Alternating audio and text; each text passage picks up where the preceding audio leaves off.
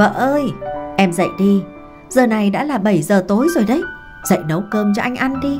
Trưa nay anh ăn ít giờ đói cồn cao lên rồi đấy này. Thủy mệt mỏi bò dậy. Anh mới về đấy à? Giờ là 7 giờ tối đấy. Em không định dậy cơm nước à? Thủy hốt hoảng cầm điện thoại lên xem rồi nói. Thôi chết rồi. Nãy em ngủ quên mất. Vừa hai con chúng nó quấy quá. Dỗ mãi chúng nó mới chịu ngủ. Em cũng chả biết em thiếp đi lúc nào nữa. Tối đến, Long đi làm về nhà với tâm trạng mệt mỏi ủ rũ. Lúc đó đã là 7 giờ tối, nhưng vào đến nhà thì anh thấy vẫn tắt điện tối om. Nhà cửa thì chưa được dọn dẹp, đồ đạc cứ vứt lung tung ngổn ngang giữa nhà. Còn đống bát đĩa thì chất một đống ở giữa bồn rửa. Long ném phăng chiếc cặp lên trên ghế rồi đi vào trong phòng thì thấy Thủy vợ anh đang nằm ôm ngủ sóc trên tay. Còn thỏ thì nằm ngay bên cạnh của sóc. Long nhẹ nhàng đi lại gần vợ rồi uể oải đặt lưng xuống giường mà hối vợ. Thôi em đừng nói nữa, dậy đi nấu cơm đi. Dạ, em nấu cơm cho anh ăn ngay đây, anh trông con hộ em nhé. Được rồi, em cứ để con ở trên giường. Này anh tăng ca vừa về muộn, mệt mỏi, mà về nhà lại không có nổi một bữa cơm để ăn thế này à? Em xin lỗi, hay là anh đi tắm trước đi, con nó đang ngủ nên cũng không cần phải trông lắm đâu. Thôi được rồi, em nhanh nhanh đi nấu cơm đi, cứ nói mãi em định để anh chết đói luôn có đúng không? Dạ không, em đi luôn đây ạ. Thủy đi ra ngoài nấu cơm, còn Long thì nằm vật ra giường xem điện thoại. Nhưng tiếng điện thoại to lắm, sóc giật mình tỉnh giấc khóc lớn lên. Thủy nghe thấy tiếng con khóc liền chạy vào trong phòng bế con lên rồi nói Đây, mẹ đây rồi, không khóc nữa nào. Ngoan, ngoan mẹ thương, mẹ thương mà. Nghe thấy tiếng khóc của sóc, thỏ cũng tỉnh dậy luôn. Thùy liền nói với Long, anh đi pha cho em hai bình sữa rồi cho con nó uống hộ em với. Giờ hai con nó đói rồi đấy. Anh đang bận, giải quyết công việc. Em tự làm đi. Anh đang ngồi chơi điện thoại chứ giải quyết công việc cái gì chứ hả? Ờ, anh nói em không nghe à? Đi làm về đã mệt rồi. Lại còn nghe em cằn nhằn nữa, mệt hết cả người. Anh mệt thì anh nghĩ em không mệt hả? Em ở nhà phải quay cuồng cả đống việc với chồng hai đứa con đấy. Mà em bảo anh đi tắm, anh cứ nằm ở giường thế hả? Rồi, anh biết rồi, anh đi luôn đây.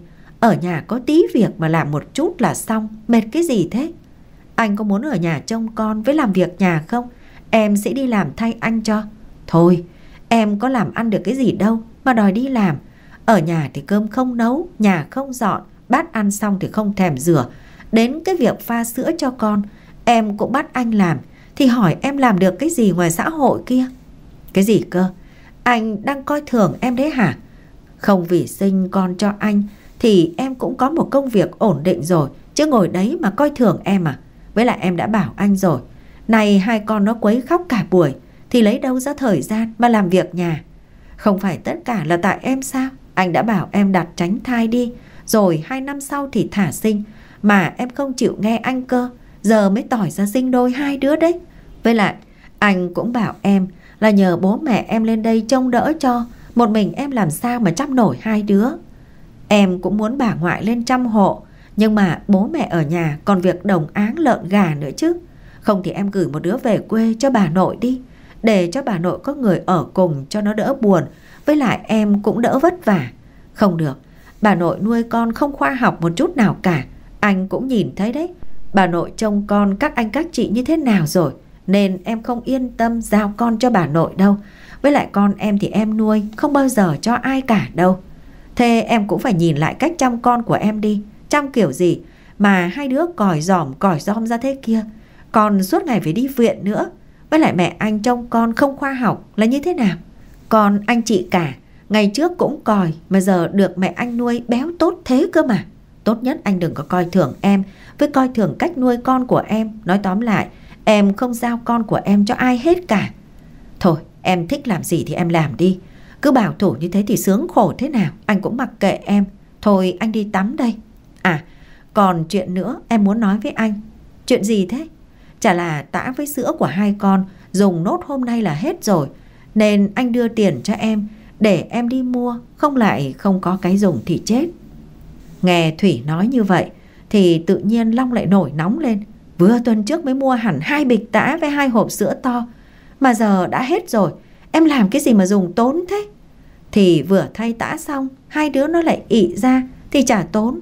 Với lại lần trước hai vợ chồng với con của anh chị cả tới chơi, Thì anh mang luôn hộp sữa của con ra Để tặng cho con anh chị ấy. Anh không nhớ à? Thôi em chịu khó cho nó bú ti đi. Rồi tầm tuổi này, uống sữa bột nhiều cũng không tốt lắm đâu. Nhưng mà em vẫn đang chưa có sữa, Thì cho con bú kiểu gì? Bác sĩ cũng bảo là cứ tạm thời cho con uống sữa bột trước đã. Rồi bao giờ có sữa thì cho con bú lại sau còn gì? Thế tiền hàng tháng anh đưa cho em đâu? Hay là em lại giấm dúi cho đứa em gái của em rồi? Này, anh đừng có nói thế. Em không có cho tiền em gái của em đâu đấy nhé. Với lại mỗi tháng anh đưa cho em có 5 triệu Còn phải lo cho con Tiền cho các con đi viện xong Còn cả tiền đồ dùng sinh hoạt hàng ngày nữa đấy Anh xem 5 triệu của anh có đủ sống không? Mà anh bảo em dấm dúi tiền cho em gái của em. Với lại lương của anh tận 15 triệu, anh đưa em 5 triệu, thì số tiền còn lại ở đâu? Lòng nghe vậy thì đập tay xuống giường rồi nói, em nghĩ anh đi làm là sướng lắm hả? Cả một đống áp lực đổ lên đầu anh đây này. Anh còn phải dùng tiền để đi gặp gỡ đối tác nữa chứ. Gặp gỡ đối tác thì chi phí đã có công ty lo cho. Anh thì phải lo cái chi phí gì chứ? Em không tính đến nhiều chi phí phát sinh à? Phát sinh cái gì chứ? Hay lúc em đang có thai, anh lại cầm tiền đi lăng nhăng ở đâu? Thôi, anh không nói chuyện với em nữa. Cơm nước thì em tự nấu tự ăn đi. Anh không ăn ở nhà nữa đâu. Nói xong, Long liền cầm điện thoại gọi đám bạn ra nhậu, rồi dắt xe ra cổng phóng đi mất hút, mặc kệ vợ trên tay đang bế hai đứa trẻ. Thủy tủi thân đến mức nước mắt chảy xuống gò má, nhìn thấy mẹ khóc, Sóc với thỏ cũng khóc òa lên. Thủy liền lau đi những giọt nước mắt để dỗ dành con, rồi chạy đi pha số sữa ít ỏi còn lại cho hai con của cô. Cô không biết số tiền Long giữ đã đưa cho ai hay lại đem đi cho gái rồi. Cô nhớ lại ngày xưa, Long là người chết mê chết mệt cô. Long luôn tìm cách để tán tỉnh Thủy và muốn có cô bằng được. Và khi Long đã khiến cô say đắm mình, thì Long đã hứa hẹn sẽ yêu thương chăm sóc bảo vệ cho cô đến hết cuộc đời. Ấy vậy mà, bây giờ Long đã quên đi những lời hứa đó, chỉ còn lại sự coi thường cô. Ngày trước Thủy là một nhân viên văn phòng với mức lương đủ ăn đủ tiêu. Cô nhớ một ngày cô đi chơi với bạn thì bạn cô dẫn theo Long vì hai người đó là bạn của nhau hồi học cấp 3 với lâu rồi không gặp nhau nên bạn cô rủ Long đi chơi cùng luôn. Vừa nhìn thấy Thủy thì Long đã thích cô ngay từ cái nhìn đầu tiên.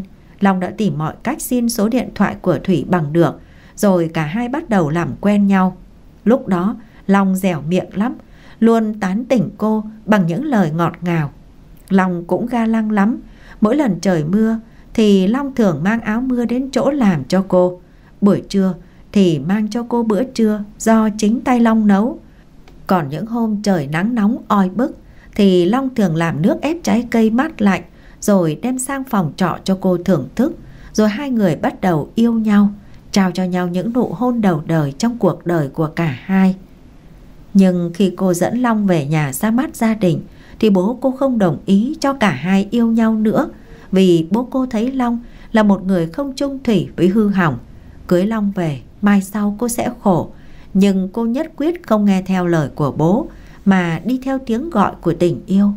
Cô vẫn lén lút yêu Long, mặc cho bố Thủy cấm cản quyết liệt. Giờ cô mới thấm thía những lời mà bố cô nói ngày trước, nhưng bây giờ hiểu ra thì cũng đã muộn rồi. Ngày bố cô từ chối lễ cưới của cả hai, mặc cho cô có van xin nài nỉ, thì ông cũng không đồng ý. Mọi chuyện tưởng chừng như tuyệt vọng, tình yêu của cô có thể sẽ phải chấm dứt ở đây, thì một tia hy vọng le lói xuất hiện cô phát hiện mình có thai. Khi kể tin này với bố, thì bố cô đã sốc nặng, không thể tin vào những lời mà cô vừa nói. Ông không tin và bắt cô phải đi xét nghiệm. Khi cầm tờ giấy xét nghiệm trên tay, thì bố cô đã tin con gái mang thai là sự thật và lại còn mang song thai nữa. Bố cô không còn cách nào khác là đồng ý cho Long với Thủy cưới nhau. Nhưng bố cô vẫn giữ nguyên quan điểm cũ và coi thường Long ra mặt Ông còn nói một ngày nào đó cô sẽ phải hối hận vì không nghe lời ông. Khi cưới nhau về, lúc đó lại còn mang song thai nên Thủy ốm yếu không còn có sức để làm việc nữa. Thủy quyết định xin nghỉ để ở nhà nghỉ ngơi nên mọi chi phí sinh hoạt đều do Long gánh vác. Khi sinh con được một thời gian, thì cả hai đứa đều đau ốm triền miên. Cứ một hai tuần là lại phải ôm con lên bệnh viện một lần. Thủy đưa con đến bệnh viện nhiều đến nỗi các bác sĩ ở đây đã quen mặt của Thủy. Chi phí đi viện một lần cũng tốn khá nhiều, nên những chuyện cãi vã về tiền bạc giữa Long và Thủy cũng xảy ra nhiều hơn. Nhưng điều kinh khủng lớn nhất mà cô phải trải qua là những tháng ngày cô ở cữ. Cô mang song thai nên sinh thường rất khó phải chuyển qua sinh mổ và khi sinh mổ xong hết thuốc tê thì vết thương của cô lại nhói lên rất đau đớn mà sóc với thỏ thì lại quấy khóc cả ngày. Một tay cô ôm sóc du ngủ, khi sóc ngủ thì lại chuyển qua du thỏ. Mẹ chồng cô thì cứ ngồi đấy không giúp đỡ gì cho cô mà cứ ngồi để chê trách cô. Mẹ chồng cô nói, đẻ thường thì không đẻ, lại cứ thích đi đẻ mổ cơ. Ngày xưa, mẹ mà mang thai đôi như này, mẹ đẻ thường ào ào luôn đấy. Chẳng hiểu sao trong mày to khỏe như thế kia mà lại đẻ mổ vừa tốn tiền mà con thì lại ốm yếu. Thì bác sĩ bảo con mang song thai rất khó đẻ thường nên con mới phải chấp nhận đẻ mổ chứ. À mà mẹ sẽ nấu cơm đi, sắp tới giờ anh Long về rồi đấy ạ. Mẹ chồng cô nhìn cô với ánh mắt sắc lạnh chép miệng nói Con đẻ cũng được hơn một tuần rồi có thể làm được việc nhà rồi đấy. Nên con ra mà nấu đi. Mẹ, còn mang xong thai mới sinh mổ Nên con vẫn còn yếu lắm Chưa làm được gì đâu ạ. Bác sĩ bảo con phải nghỉ ngơi Tầm hơn 3 tuần mới vận động mạnh được ạ. Ôi trời ơi Con tin gì lời mấy cái ông bác sĩ đó nói. Ngày xưa mẹ sinh xong thằng Long thì ba ngày sau mẹ đã phải đi cấy với làm hết việc nhà rồi đấy thôi. Chuyện đó để sau đi mẹ. Giờ mẹ trông hai đứa hộ con để con đi vệ sinh tí nhé. Thủy đặt con xuống rồi chạy vào nhà vệ sinh. Mẹ chồng nhìn sóc với thỏ với ánh mắt kinh thường nhưng bà đã có một kế hoạch nào đó nảy sinh ở trong đầu. Khi Long đi làm về thì thấy mẹ chồng đang vừa trông cháu vừa làm việc nhà rồi cười nói với cháu một cách rất vui vẻ khác hoàn toàn với thái độ đùn đẩy việc cho con dâu với kinh thường cháu lúc nãy. Chồng cô về, không biết chuyện gì thì liền vào phòng trách mắng cô, không chịu làm việc nhà, để mẹ làm hết như vậy. Thủy có giải thích nhưng cô có nói thế nào, Long cũng không tin. Thủy nghĩ, thôi thì cứ chịu đựng thêm hai tuần nữa, cô hết ở cữ, rồi mẹ cũng về thôi. Nhưng sang đến khi Thủy hết ở cữ, thì mẹ chồng lại đề nghị với Long là sẽ ở đây thêm một tháng nữa và cơn ác mộng chính thức bắt đầu từ đây. Hôm đó khi đang thay bỉm cho con thì thấy bịch đã đã hết Thủy liền ra bảo với mẹ chồng. Mẹ ơi con đi ra ngoài mua tã cho cháu. Mẹ trông cháu hộ con một lúc nhé. Rồi mẹ pha sữa cho sóc với thỏ uống hộ con. Vì con đi cũng hơi xa đấy. Tại ở gần đây không có quán nào bán tã ạ. Ừ chị đi mau nhanh lên. Tôi không trông nổi hai đứa giặc cái nhà chị lâu đâu. Dạ vâng, con chào mẹ con đi ạ. Khi mùa tã về đến nhà, thì Thủy thấy mẹ đang đút bột cho con ăn. Cô hoảng hốt chạy vào giật lấy bát bột ở tay mẹ chồng ra. Thấy vậy mẹ chồng liền quát. Con đang làm cái gì vậy hả? Mẹ đang cho con của con ăn mà. Con giật bát bột ra khỏi tay mẹ là như thế nào hả? Con có biết làm như vậy là hỗn không? Con bảo mẹ pha sữa cho cháu, Chứ con có bảo mẹ cho cháu ăn bột đâu Với lại, nó mới có hơn một tháng tuổi, Thì làm sao mà ăn bột được chứ Nhỡ cháu mẹ có xảy ra vấn đề gì thì sao ạ Có sao đâu mà Ngày xưa mẹ thưởng cho chồng con ăn như thế này suốt Nó vẫn cao to khỏe mạnh đấy thôi Ngày xưa cái gì ạ Chuyện ngày xưa khác xa bây giờ rồi mẹ ạ Con bảo thật Mẹ đừng có áp dụng mấy cái cách nuôi dạy con ngày xưa và bây giờ nữa Nó đã lỗi thời rồi ạ Mẹ chồng tức giận rồi quát Cô, cô dám coi thường với dạy đời tôi đấy à? Dạ, con không coi thường hay dạy đời ai cả. Con muốn nói để cho mẹ hiểu thôi ạ. Còn cô thì ảo tưởng thông minh à? Tôi lớn hơn cô tận 20 tuổi, nên tôi có kinh nghiệm sống hơn cô đấy. Trứng mà đòi khôn hơn vịt, đã không làm ăn được cái trò trống gì rồi.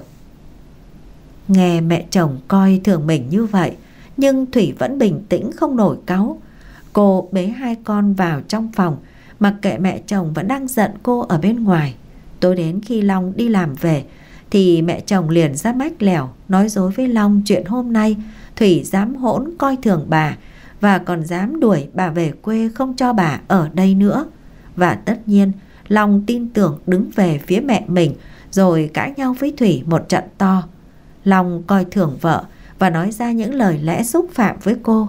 Điều đó khiến cô khóc rất nhiều, nhưng trong cơn tuyệt vọng thì cô vẫn còn có chị chồng tuyệt vời, luôn yêu thương bênh vực cô và không hùa theo mẹ chồng với Long để coi thường cô. Nhiều lúc chị còn dám dúi cho cô ít tiền, bảo cô thèm gì thì cầm tiền mua mà ăn đỡ phải xin thằng Long, không nó lại cằn nhằn chuyện tiền nong. Nhiều lúc cô muốn ôm con về với bố ruột, nhưng rồi cô lại không đủ can đảm. Ngày đó cô cương quyết chạy theo tiếng gọi của con tim, chạy theo cái mà cô gọi là tình yêu vĩnh cửu. Cô bỏ mặc người bố, hết mực khuyên ngăn vì chỉ muốn tốt cho mình. Bây giờ cô còn mặt mũi nào để về gặp bố nữa chứ? Trở về thực tại, Thủy cho sóc và thỏ vào một chiếc cũi lớn rồi chạy ủ đi cắm cơm, mắt liên tục nhìn về phía hai đứa. Nước mắt của cô rơi xuống gò má rồi thấm ướt cổ áo cô. Đến đêm Long mới về trong tình trạng say khướt, vào đến giường liền nôn ra một bãi rồi lăn ra ngủ không biết trời đất là gì. Còn Thủy vừa lau dọn bãi nôn, vừa lọ mọ pha sữa cho con. Hai đứa uống một lúc Hai đứa lại đòi bế, không đêm nào Thủy ngủ được một giấc trọn vẹn. Hôm sau là ngày chủ nhật, Long được nghỉ. Thủy định bụng nhờ anh trông con để mình dọn dẹp nhà cửa. Nhưng gần 10 giờ Long dậy thay quần áo Thủy hỏi Hôm nay chủ nhật anh cũng đi làm à? Không, hôm nay anh sang nhà thằng Quân Nay nhà nó có cỗ nên nó mời anh sang làm một bữa Rồi làm mấy chén luôn Hay là để bữa khác đi anh Hôm nay anh trông con cho em dọn dẹp nhà, rồi còn đi chợ mua thức ăn để sẵn trong tủ lạnh. Khi bọn nhỏ nó quấy, em cũng nấu được cơm. Anh hứa với nó là sẽ có mặt ở bên đấy cả rồi. Em cứ để con nằm ở đó, rồi làm việc thôi. Cái nhà bé tí tẹo, bọn nó có đi được đâu mà lo. Sóc và thỏ, được 8 tháng rồi, biết bò cả rồi. Anh không để mắt một chút thôi, là rất nguy hiểm đấy. Anh gọi báo bận đi. Anh em nhiều dịp gặp nhau cơ mà, Không gặp hôm nay. Thì mình gặp hôm khác chứ anh đi rồi, Em làm sao mà vừa trông con, Lại vừa làm việc nhà đây? Nghe Thủy nói nhỏ nhẹ như vậy, Nhưng Long trong lòng cũng muốn đi, Trở nên do dự, Nhìn sang thấy sóc và thỏ nheo nhéo Nên quyết định ở nhà. Anh lấy máy ra gọi cho Quân Quân nói trong điện thoại, Mày đến đâu rồi? Nhanh đi, Đợi mỗi mày nữa thôi đấy. Này ta có việc rồi không đến được, Bọn mày ăn đi. Ờ cái thằng này hôm qua đã đồng ý đi rồi, mà bây giờ lại bảo không đi là sao? Hay là con vợ mày nó cằn nhằn cái gì có đúng không? Ôi giời ơi, Mày sợ nó à Cứ sợ như thế là nó coi thường mày đấy. Long ngần ngại rồi nói, Không phải sợ, Nhưng mà hai đứa nhỏ nó quấy khóc quá. Chồng phụ vợ để vợ đi chợ nấu cơm, Lần khác đi với bọn mày sau nhé. Tùng nói với Long, Con cái cơm nước là việc của đàn bà, Có bấy nhiêu đó mà làm cũng không xong nữa thì vứt. Vợ tao mà láo, Tao tát cho vỡ mồm chứ ở đấy mà trông con. Tao đã bảo mày rồi, Phải cứng lên, Không có nó là coi thường mình thôi. Vợ nó nhờ mình trông con một tí Cũng có sao đâu, Đằng nào cũng là con của mình cơ mà. Quân chép miệng rồi nói, Thôi, quan trọng gì, Ra với bọn tao đi. Có mấy con hàng ngon lắm, Không đi, hối hận cả đời đấy nhé. Nhưng mà, Nhưng nhị cái gì nữa, Nhanh nhé. Mày mà không đi Là thằng hèn đấy Long ạ được rồi, đợi tao sang ngay. Đấy, nó phải thế mới ra dáng đàn ông chứ. Cứng rắn lên, nhà là phải có nóc, không được để vợ nó coi thường. Tắt máy, Long nói với Thủy, em đi chợ nhanh đi, tí anh có việc, anh phải đi với sếp đấy. Việc gì hả anh? Việc của anh, làm sao mà em biết được? Thôi, nhanh cái chân lên đi nào, không anh lại bị mắng đấy. Thủy thở dài rồi nói, anh đi với bạn có đúng không? Chẳng lẽ vợ con không quan trọng bằng bạn bè hả anh? Họ có ở với anh cả đời đâu. Anh không thể dành một ngày cho vợ con được à? Anh đã bảo rồi, anh đi với sếp, em đừng có mà coi thường. Đàn bà thì an phận lo cho con cái đi, bớt nói lại. Sao em không được quyền nói chứ? Em là vợ của anh và là mẹ của con anh cơ mà. Long cắt ngang lời của Thủy. Cô là vợ chứ không phải là mẹ tôi. Mà đến mẹ tôi, còn không quản tôi nữa kia kìa. Thì cô lấy tư cách gì mà phán xét tôi cơ chứ? Tôi đi với bạn tôi đấy, Thì đã làm sao? Tôi mải lưng ra làm để nuôi cô. Thế nên cô biết điều một chút đi, Bớt cằn nhằn đi. Long lấy chìa khóa xe lên, định phóng đi. Nhưng mà bị Thủy giữ lại và nói lớn, Anh ở nhà trông con đi. Long trừng mắt lên rồi nói, Bỏ ra nhanh lên nếu mà hôm nay anh vẫn cương quyết đi, Chúng ta ly hôn, Em không chịu nổi nữa rồi. Nói dứt lời, Thủy buông tay Long ra, Để anh tự do lựa chọn. Nhưng Long vốn không hình dung ra, Sự quan trọng của Thủy Cũng không tha thiết với hai đứa con gái, Nên nhếch mép phóng ra đi. Long cơ bản nghĩ, Thủy chỉ nhất thời nói vậy Chứ bây giờ cô phụ thuộc vào anh như vậy, Thì ly hôn lấy gì mà sống. Nhưng Long đã lầm, Khoảnh khắc Long vít ga rời khỏi căn nhà là trái tim của Thủy cũng đã lên tiếng. Cô quyết định giải thoát cho mình Và cho Long. Thủy bế cả hai đứa con ra quán cơm đầu đường, Mua phần cơm cho mình. Về nhà cô ăn no ngon lành Thì xếp quần áo vào vali xong, Bế hai con đi trong hôm đó. Cô biết cô phải một lần mạnh dạn, Nếu không sẽ khổ cả đời Và bị coi thường. Về phần Long đi ăn cỗ chỉ là cái cớ của những kẻ chán cơm thèm phở. Cả bọn kéo nhau đi hát hò, rồi chia nhau đi vui vẻ bên cạnh cô gái có thân hình gợi cảm. Long như lạc vào thiên đàng, quên mất bản thân mình là người đã có gia đình, quên mất những thể hẹn trăm năm cùng với ai đó. Sau cơn hoan lạc, Long về nhà nhưng cửa nhà không khóa. Long gọi um lên nhưng không có ai trả lời. Căn nhà im lặng đến bất thường, Long nhìn điện thoại nghĩ bụng Đã 2 giờ sáng Giờ này Thủy còn đi đâu Chẳng lẽ cô ấy bỏ nhà đi thật sao? Nhưng suy nghĩ đó cũng nhanh chóng được Long gạt sang. Thủy làm gì có người thân nào Để mà nương tựa? Bố mẹ cô thì vẫn đang giận việc cô lấy Long, Rồi có thai trước với Long. Anh chắc chắn cô sẽ không về đó. Long nói to, Bày đặt giận dỗi, Bỏ đi, Để xem cô đi được bao lâu. Cái sai của người phụ nữ là quá tin tưởng vào người đàn ông của mình. Còn cái sai của người đàn ông là coi thường phụ nữ ở bên cạnh. Cả Long và Thủy đều mắc phải sai lầm đó, nên hôn nhân của họ mới đi vào ngõ cụt như hôm nay. Sáng hôm sau Long thức dậy, vẫn đi làm bình thường, cũng chẳng lo lắng đêm qua ba mẹ con Thủy đã ở đâu. Long còn nghĩ hôm nay cô ấy về, anh còn phải mắng cho một trận và bắt cô ấy xin lỗi đàng hoàng mới cho về nhà. Thế mà mọi chuyện không như Long nghĩ, tan làm. Căn nhà vẫn một màu đen như mực, không gian chìm trong yên lặng tĩnh mịch đến mức lạnh lẽo. Thủy và hai con vẫn chưa về, Long giận lắm, tức lắm, lấy điện thoại ra gọi cho cô, nhưng mà không liên lạc được. Bao nhiêu cuộc gọi cũng đều là tiếng nói của tổng đài vang lên. Long chửi, có giỏi thì đừng có mà về nữa, đi luôn đi, khốn nạn. Hôm đó, Long mua hộp cơm ăn tạm Nhưng cơm tiệm làm sao mà ngon như cơm vợ nấu Long rất kén ăn Nên ăn chưa đến một nửa Đã vứt hộp cơm sang một bên Rồi bực bội Mở bao thuốc Lấy thuốc ra để đốt Còn trong lòng tràn đầy bực tức. Một ngày, hai ngày trôi qua Nhưng bóng dáng mẹ con Thủy Vẫn bật vô âm tín. Mấy ngày đầu bạn bè ai gọi Long Long đều có mặt. Cuộc vui nào cũng đến nên Long thoải mái lắm, muốn làm gì thì làm. Chẳng cần phải lo nghĩ điều gì cả, cuộc sống cứ như trong mơ. Nhưng sang đến cuối tuần, nhà cửa bẩn không có ai dọn dẹp. Chén bát mấy ngày qua, Long cũng chẳng thèm rửa đến. Quần áo của anh ta cũng chất đầy trong chậu, chẳng buồn giặt rũ. Cơm tiệm cũng ngán đến tận cổ. Anh bắt đầu suy nghĩ đến Thủy. Nghĩ đến mâm cơm, cô nấu đúng khẩu vị của anh. Nghĩ đến những chiếc quần áo cô ủi phẳng phiu Anh chỉ việc mặc vào Đến cả đôi giày anh mang cũng được, cô đánh bóng loáng, Buồn tủi vì thiếu vợ. Long lại tìm đến men rượu, Say cô gái đẹp bên cạnh, Chỉ làm Long vui nhất thời. Khi một mình trong căn phòng, Long cảm thấy trống rỗng lắm, Cảm giác thiếu vắng. Nhưng lòng tự trọng lúc này che lấp đi tất cả. Long cố chấp không đi tìm Thủy, Cố chấp với cả bản thân của mình. Vì nếu đi tìm Thủy, thì cô ấy sẽ nghĩ anh không làm được việc gì, nên mới đi tìm mình về. Và cô ấy sẽ coi thường Long.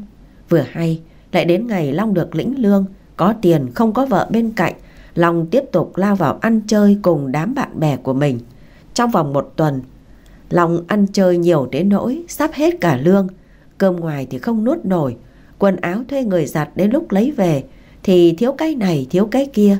Nhưng vì cái tính cả nể mà không nói ra. Lúc này Long mới nhận ra người vợ mình suốt ngày chê bai coi thường thật sự cần thiết. Nhưng bây giờ Long không biết cô đang ở đâu. Long gọi cho chị Trúc, chị Trúc hỏi Mày gọi tao có việc gì vậy? Mấy hôm nay vợ em có gọi cho chị không? Không, sao thế? À, không có gì đâu ạ. Hai đứa cãi nhau có đúng không? Tí nữa tao sang xem mày thế nào. Long thở dài rồi nói Hai mẹ con nó bỏ đi đâu hai tuần nay không thấy về. Chị có biết vợ em nó đi đâu không? Chị chốc mắng ỉ mày làm được mấy cái đồng bạc Mày mắng chửi coi thường nó có phải không? Không, em có mắng chửi coi thường gì đâu Nó tự dỗi, nó bỏ đi đấy chứ. Chị chốc quát trong điện thoại Tao còn lạ gì mày nữa hả Long? Nó ở nhà chăm con cực khổ. Thế mà mày không biết thương nó Lại còn lên giọng mắng mỏ coi thường nó. Giờ nó không chịu được Nó mới bỏ đi. Mà thôi, nó bỏ đi cũng được Để cho mày sống một mình Cho mày biết cái cảnh. Ờ Chị là chị của em Hay là chị của nó Mà chị bênh nó thế? Nó cũng chẳng phải là cái dạng vừa đâu nhé. Tiêu hoang kinh người ra. Đưa bao nhiêu cũng chẳng đủ.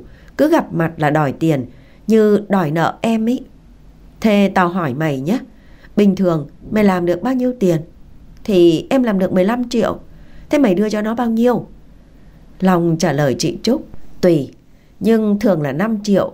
Để cho nó đi chợ với đóng tiền điện nước, Còn tã sữa hết thì em sẽ mua.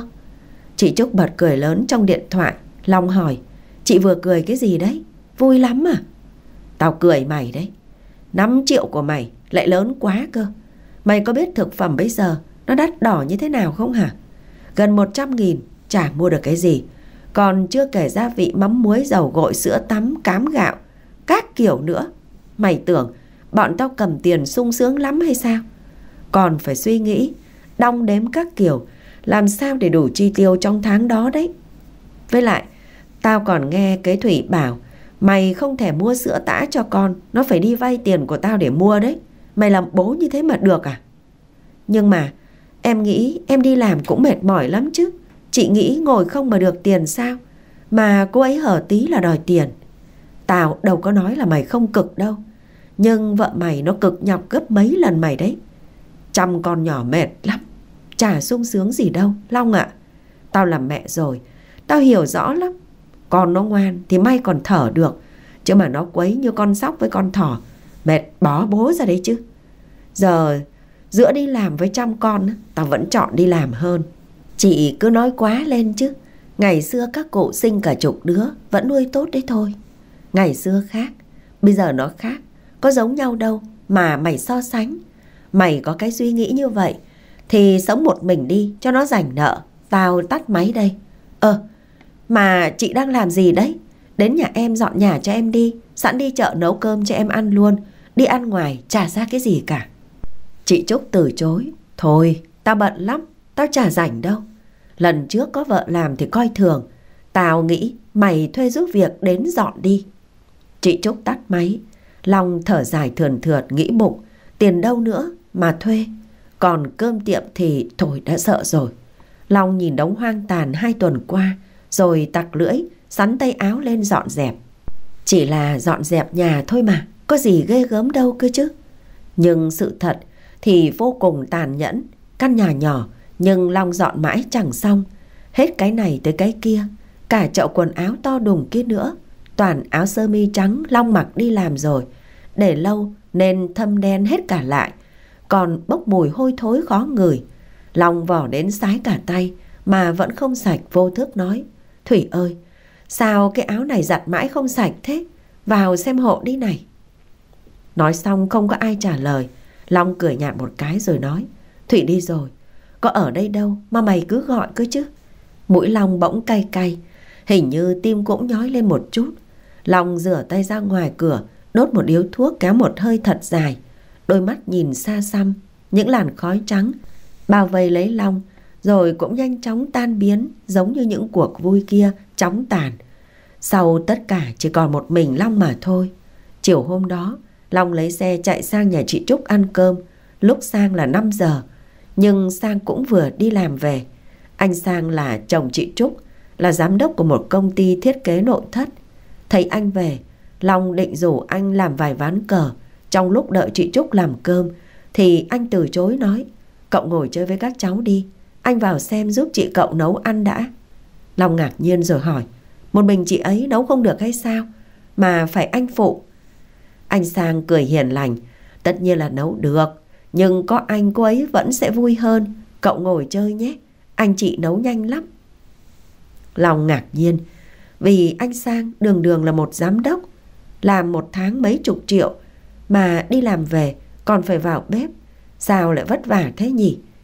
Để giải đáp những câu hỏi trong lòng, Long đi vào gần bếp nhìn xem họ làm gì. Thì Long thấy anh Sang đang làm thịt, chị Trúc ngồi nhặt rau. Hai người trò chuyện với nhau rất vui vẻ. Anh hỏi chị, hôm nay vợ ở nhà có gì vui không? Long thầm nghĩ, ở nhà thì có gì mà vui, suốt ngày quanh quẩn bếp núc, có gì đâu đâu mà vui. Chị Trúc cười cười, trả lời anh Sang rằng hôm nay em đi chợ gặp lại bạn cũ, bọn em đi uống nước, rồi đi ăn, kể lại chuyện ngày xưa đi học vui lắm anh ạ. Mà cậu ấy bây giờ làm chuyên nội thất đó. Cậu Khiêm có phải không? Hôm trước anh gặp cậu ấy sang công ty anh hợp tác đấy, nhưng bận quá, chỉ chào hỏi mấy câu rồi thôi. Vâng, là anh Khiêm ạ. Nghe nói cậu ấy vừa mới mua nhà ở gần chợ đấy. Vợ cậu ấy xinh ghê, nói chuyện cũng dễ thương nữa. Cô ấy bằng tuổi em, mà nhìn trẻ hơn em nhiều lắm. Anh nhìn đôi mắt của em này, có nếp nhăn rồi đó. Long nhíu mày, Khiêm chẳng phải là người yêu cũ của chị Trúc hay sao? Sao chị ấy dám nói chuyện như vậy với anh Sang mà anh Sang không ghen hay sao? Rồi anh Sang nói, anh biết cô ấy mà, làm sao mà trẻ hơn em được. Anh thấy em xinh hơn nhiều, lại còn nấu ăn khéo, chẳng có ai qua nổi vợ anh đâu. Chị Trúc cười tít cả mắt rồi nói, thôi đi, em tự biết nhan sắc của mình mà, anh đừng có làm em ảo tưởng. Ờ, anh nói thật mà, trong lòng anh, vợ anh đẹp nhất. Đôi mắt của chị Trúc sáng ngời hạnh phúc, chị còn ném cọng dao vào người anh sang. Hai người cứ như là mới yêu nhau đấy, dù cả hai đã lấy nhau được hơn chục năm rồi. Từ khi lấy nhau, Long chưa từng ngọt ngào với Thủy thế. Đến giờ cơm, anh phụ chị sắp cơm ra mâm, rồi đem chai rượu ra, rủ Long làm vài ly cho ấm. Nửa tháng nay, Long mới được ăn cơm gia đình. Long ăn liền ba bát. Ăn xong chị Trúc với bọn trẻ nhỏ lên phòng học bài ở dưới nhà. Chỉ còn hai người đàn ông với nhau. Sang mới hỏi, hai vợ chồng cậu sao rồi? Long uống cạn ly rượu rồi trả lời. Nó ôm con bỏ đi rồi anh ạ. Em cũng chả hiểu đi đâu. Sao cậu không đi tìm cô ấy? Một thân, bồng hai đứa con rồi ăn ngủ ở đâu? Long cũng muốn tìm Thủy nhưng vẫn cứng miệng vì sợ bị coi thường. Mặc kệ, nó thích đi đâu thì đi, em cũng không quan tâm. Anh Sang cười rồi nói, vậy từ lúc vợ cậu đi, cậu thấy cuộc sống độc thân thế nào? Em vẫn thấy bình thường. Có đúng là bình thường không? Sao anh thấy cậu không bình thường chút nào cả? Trong lòng cậu thế nào? Cậu là người hiểu rõ nhất. Nhưng mà anh có vài lời góp ý với cậu. Phụ nữ vốn thiệt thòi hơn chúng ta rất nhiều. Họ hy sinh sức khỏe để sinh con cho chúng ta bỏ cả sự nghiệp để lui về làm hậu phương cho chúng ta phát triển. Vì vậy phải yêu thương trân trọng, không được coi thường vợ cậu ạ. Nhiều người hỏi, tại sao anh làm giám đốc mà việc lớn việc nhỏ gì cũng hỏi ý chị cậu cả. Nhưng anh chỉ cười trả lời với họ. Vợ là người kể vai sát cánh bên cạnh mình, là người cùng mình đồng cam cộng khổ. Thì phải tôn trọng cô ấy, nhẫn nhịn cô ấy cũng chẳng có gì là sai, chẳng có gì là sợ vợ để vợ mình khóc mới đáng suy nghĩ đấy. Anh thà chịu bị mọi người coi thường còn hơn là làm trái ý vợ. Cậu là một người thông minh, chắc cậu cũng hiểu khúc mắc của mình ở đâu rồi phải không? Lòng cúi mặt thở dài, anh Sang lại nói, muốn hôn nhân hạnh phúc thì phải đứng ở vị trí của nhau mà suy nghĩ, hạ cái tôi của mình xuống. Phải biết đâu là bạn, đâu là bè. Cuộc vui nó chỉ làm cậu sung sướng trong chốc lát thôi. Một khi cậu xa cơ thất thế hay là bệnh nặng thì những người bè ấy cậu không thấy đâu. Họ cũng sẽ coi thường cậu thôi. Người mà bên cậu lúc đó chỉ có vợ con của cậu thôi. Cậu cứ suy nghĩ kỹ đi. Những gì anh vừa nói với cậu hơn nửa đời người rồi cũng rút ra kinh nghiệm nhiều lắm. Cuộc sống này, gia đình vẫn là quan trọng nhất. Anh Sang còn nói thêm nhiều điều nữa. Chưa bao giờ lòng thấy anh Sang tâm lý như hôm nay. Vậy mà ngày xưa mẹ cứ chê anh Sang nghèo với xấu. Sau bao nhiêu nỗ lực, bây giờ anh ấy ngồi vào ghế giám đốc rồi, lại còn yêu thương chị Trúc vô điều kiện. Đúng là phụ nữ hơn nhau ở tấm chồng chẳng sai. Gần 10 giờ, Long ra về, thì một cơn mưa bất chợt kéo đến táp vào mặt của Long lạnh buốt. Nhưng Long chẳng thèm mặc áo mưa, vì có lạnh lẽo như thế nào như lúc này. Vì dầm mưa, cả một đoạn đường dài, nên hôm sau Long bị sốt. Người cứ run cầm cập, phải xin nghỉ làm. Nằm một mình chẳng có ai mua thuốc hay nấu cháo. Long nhớ những lần mình đi uống rượu về bị nôn ói. Thủy vội vàng chạy đi nấu cháo cho anh. Chỉ cần anh ho nhẹ là cô đã chạy ủ đi mua thuốc bắt anh uống. Có lần anh còn quát cô, để đó tí tôi uống, tôi lớn rồi, chứ có phải trẻ con đâu. Mà cô nói mãi thế, phiền chết đi được ấy. Bấy giờ, bao muộn phiền như xưa, lại chẳng được nữa. Hôm nay đau ốm liên tục ăn uống thất thường, nên lòng gầy đi trông thấy. Dâu mọc dài ra, chẳng thèm cạm. Bao thuốc vứt đầy trong nhà chẳng có ai dọn, tiền cũng hết. Long gọi cho Quân vay một triệu tiêu tạ, Thì Quân cười ha hà trong điện thoại rồi nói Tao làm gì có tiền mà cho mày vay? Năm nay dịch bệnh Ai cũng khó khăn cả mà. Ừ tao biết rồi. Mà mày sao thế? Mấy lần gần đây không thấy mày đi chơi với bọn tao? Hay là có hàng nào ngon nên giấu chơi một mình có phải không? Long rít một hơi thuốc chán nản trả lời Quân Hàng họ cái gì? Tao đang chán như con rán đây.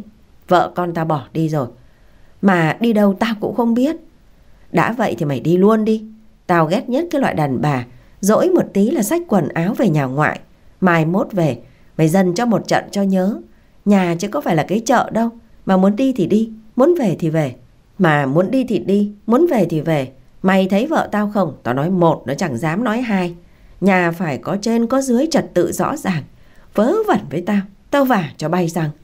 Mày thì kinh rồi Mày không có thì thôi nhé, tao tắt máy đây. Anh tiếp tục gọi cho vài người bạn nữa, nhưng ai cũng lắc đầu từ chối, nói không có tiền cho Long mượn. Cũng trong lúc ấy, Long nhận được giấy triệu tập của tòa án gửi đến, yêu cầu anh lên giải quyết chuyện ly hôn do Thủy gửi đơn. Long cầm tờ giấy mà chết sững sờ. Tờ giấy nhẹ như mây, nhưng mà hôm nay sao lại nặng thế? Nó nặng đến mức Long ngồi thẫn thờ rất lâu mới mở miệng cười nhạt vô thức nói ra. Hình như mình đã đi sai khi coi thường vợ rồi. Đúng ngày hẹn, Long có mặt ở tòa án từ sớm, chỉ mong gặp mặt Thủy để xin lỗi vì đã coi thường cô và mong cô sẽ suy nghĩ lại. Nhưng Thủy đến mang vẻ mặt lạnh tanh, Long vội chạy đến bế lấy sóc định bụng xin lỗi, dùng hai con để níu kéo cô. Vậy mà Thủy nói, bế cho quen đi. Ly hôn rồi tôi ra một đứa cho anh nuôi cho anh biết nuôi con là sung sướng như thế nào. Thủy, anh biết là anh đã sai. Vì đã coi thường em Anh xin em đấy. Đừng bỏ anh mà. Anh xin lỗi. Mẹ con em đừng bỏ anh đi. Anh xin em đấy. Thủy trước những lời cầu xin của Long Thì không quan tâm. Cô đi thẳng vào trong một mực Muốn ly hôn. Cô còn nói sẽ nuôi một đứa Long một đứa. Nếu Long muốn nuôi cả hai Cô cũng đồng ý không cản. Lời nói và hành động dứt khoát của Thủy Làm cho Long sợ hãi. Mồ hôi túa ra như tắm nhưng do lần đầu nên tòa vẫn hòa giải cho họ quay lại với nhau. Thủy nói, anh yên tâm đi, tôi sẽ trả lại cho anh tự do sung sướng như anh hằng mong muốn. Muốn ăn muốn ngủ với ai cứ thoải mái. Chúng ta không có tài sản gì ngoài sóc và thỏ. Anh muốn nuôi đứa nào tôi chiều theo ý anh. Thủy à, anh xin em. Em suy nghĩ lại đi em. Anh đã biết tội của anh rồi. Anh hứa, anh hứa anh hứa sẽ sửa đổi tất cả như em mong muốn. Em rút lại đơn đi em. Chẳng lẽ em nỡ chia cách hai con của mình sao? Mỗi đứa một nơi sao em? Con mới có 8 tháng thôi mà em. Thủy cười mỉa mai. Anh cũng biết là con còn nhỏ sao? Anh cũng biết là không nên chia lìa các con ấy à? Thế sao lúc trước anh luôn mồm bảo tôi gửi con về cho mẹ anh chăm. Lúc đó anh mạnh miệng lắm cơ mà. Bây giờ anh lại lật mặt nhanh thế. Anh sai rồi. Em tha thứ cho anh một lần đi Thủy Anh hứa từ đây về sau Anh sẽ đối xử với em và con thật tốt Anh sẽ không coi thường em nữa đâu Để sẽ không bao giờ làm em buồn nữa anh hứa đó. Thủy nhếch mép cười. Cô cười nhưng mắt đã đỏ hoe rồi nói. Lời hứa ngày xưa anh cũng hứa hẹn nhiều lắm. Nhưng rồi, rốt cuộc anh có làm được đâu. Tôi ngu một lần là đủ lắm rồi, Long ạ. Lần này anh lấy tư cách của mình ra để thể với em luôn đấy Thủy. Những ngày qua không có em, anh nhận ra em quan trọng đến nhường nào. Thà tranh một lần đi em. Em xem con đang nhìn anh kìa, con đang đòi anh bế kia kìa. Thủy cười tiến đến ghé sát vào tai Long nói mấy chữ, không bao giờ. Những lời hứa ngày xưa cũng chỉ là hứa xuông để cưới tôi về, hầu hạ anh thôi, đúng không? Không, anh không có ý đó đâu. Thôi mặc kệ anh, giờ anh tự do rồi, muốn làm gì thì làm đi. Vừa dứt lời, cô lên chiếc xe đã chờ sẵn, mặc kệ Long van xin phía sau. Cô phải kiên quyết và dạy cho Long một bài học thích đáng. Về phần Long thì anh lầm lũi lấy xe chạy về nhà, nằm thẫn thờ ra đó. Nghĩ đến những gì Thủy nói, nhìn thấy vẻ mặt kiên quyết của cô. Long lo lắng nên gọi cho chị Trúc, nhờ chị ấy khuyên can Thủy giúp. Nhưng chị Trúc mắng trong điện thoại một trận. Long cầu xin. Em biết lỗi rồi, nhưng mà cô ấy không chịu tha lỗi cho em, thì em phải làm sao? Có thật là mày biết lỗi rồi không? Em biết lỗi thật rồi mà. Em sẽ cố gắng sửa chữa lỗi lầm mà em gây ra. Thủy nghe lời chị lắm. Chị gọi cho cô ấy nói vài lời cho em đi. Em năn nỉ chị đó. Tao thử gọi rồi mà không được. Chị gọi Messenger ấy. Cô ấy vẫn đang hoạt động đấy chị. Mày biết sao mày không gọi đi. Chính mày là người đã coi thường cái Thủy. Làm cho nó uất ức mà đi cơ mà. Nhưng cô ấy chặn hết tất cả liên lạc của em. Nhưng cô ấy chặn hết tất cả liên lạc mà em có thể liên lạc với cô ấy rồi. Thôi được rồi, để tao thử gọi xem. Lòng mừng lắm, vì trước giờ Thủy và chị Trúc thân thiết như hai chị em ruột thịt vậy. Long hy vọng Thủy sẽ nghe lời chị Trúc mà rút đơn lại. Thế mà chị Trúc gọi lại ổ rũ nói. Nó nói rồi, nó không thay đổi quyết định đâu. Nó nhắn mày chuẩn bị mà chăm một đứa đi. Làm sao mà em chăm được? Trước giờ em có chăm con bao giờ đâu. Ừ, thế trước giờ Thủy nó chăm con bao giờ đâu. Nhưng bản năng làm mẹ buộc nó phải biết đấy. Thôi, tao nói trước cho mày biết. Chăm một đứa bé không dễ dàng gì đâu. Nhiều khi muốn đi vệ sinh còn không được đấy. Rồi mày sẽ hiểu những gì cái Thủy nó phải trải qua. Xem mày còn dám coi thường vợ mày nữa không. Nói xong chị Trúc tắt máy. Long cũng vô thức buông điện thoại xuống ghế. Người bỗng lả đi một lát rồi ngất lịm. Khi Long tỉnh dậy thì thấy mình đang trong bệnh viện. Tay được truyền nước. Xung quanh mọi người đang nói chuyện hỏi thăm. Chị Trúc liền hỏi. Tỉnh rồi hả? Trong người sao rồi? Đau ở đâu không? Để tao còn gọi bác sĩ. Dạ em không đau ở đâu. Nhưng mà em đói bụng quá. Thế mày muốn ăn cái gì? Tao chạy ra mua cơm, bún phở hay là cháo? Cháo đi chị. Giờ cơm đường xói chợ nhiều. Em sợ không nuốt nổi mất. Ừ, đợi ta một lát, tao đi mua ngay đây. Chị Trúc chạy xuống căng tin, mua bát cháo vịt loại ngon lên cho Long ăn. Chị Trúc còn không quên mua chai nước lọc cho thằng em trai có lớn mà không có khôn của mình. Lúc đưa thì Long hỏi ai đưa em vào đây đấy chị? Tao chứ ai? Hàng xóm của mày qua cho mày một ít đồ thì gọi mãi mà mày không nghe. Vào nhà thì thấy mày ngất đi, nên vội vàng gọi cho tao. Mày ngất xỉu, nên tao chạy sang đưa mày vào viện đấy. Thế bác sĩ bảo em bị bệnh gì hả chị? Chị Trúc nét mặt lo lắng ngập ngừng rồi nói, Ăn xong đi rồi nói chuyện Long nhận thấy sự khác lạ của chị Trúc Long cảm thấy nét mặt của chị có sự lo lắng, Nên Long cũng cảm thấy sợ hãi Bởi vì chị Trúc trước giờ thẳng thắn lắm, Có gì nói đấy không vòng vo bao giờ Long hỏi, Có chuyện gì vậy chị Em bị bệnh gì à Mày lằng nhằng thế Có ăn nhanh lên không thì bảo Dạ vâng Em ăn ngay đây ạ Đợi Long ăn xong Chị Trúc mới nghiêm túc nói Mày phải thật bình tĩnh, nghe tao nói nhé. Chuyện gì cũng phải có cách giải quyết. Bác sĩ bảo mày bị ung thư phổi, nhưng mới chỉ là đang giai đoạn đầu thôi. Mày vẫn còn cơ hội để sống. Lời chị Trúc nói như xét đánh ngang tai. Long trợn tròn mắt kinh ngạc trước những gì chị Trúc nói. Miệng lắp bắp không ngừng hỏi. Chị, chị vừa nói cái gì? Em, em bị ung, ung, ung thư á? Long cười lắc đầu lia lịa rồi nói. Không chấp nhận. Không đâu chị, chị đùa em thôi có đúng không? Em làm sao mà bị ung thư được? Em đang rất khỏe mà chị. Chị chúc thở dài rồi nói, tao bảo rồi, mới là giai đoạn đầu vẫn chữa được.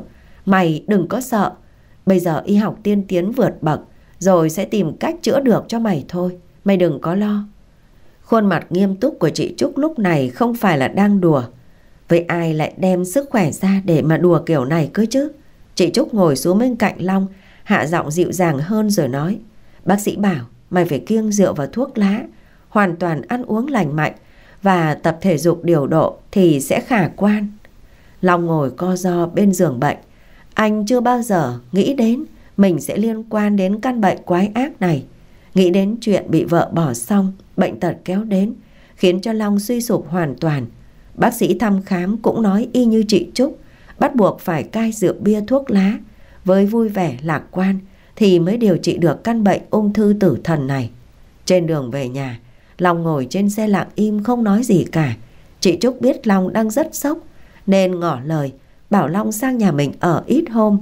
Nhưng Long đã từ chối rồi lặng lẽ trầm mặc đi về nhà, đóng luôn cửa lại, nhốt bản thân trong đó rất lâu, suy nghĩ rất nhiều.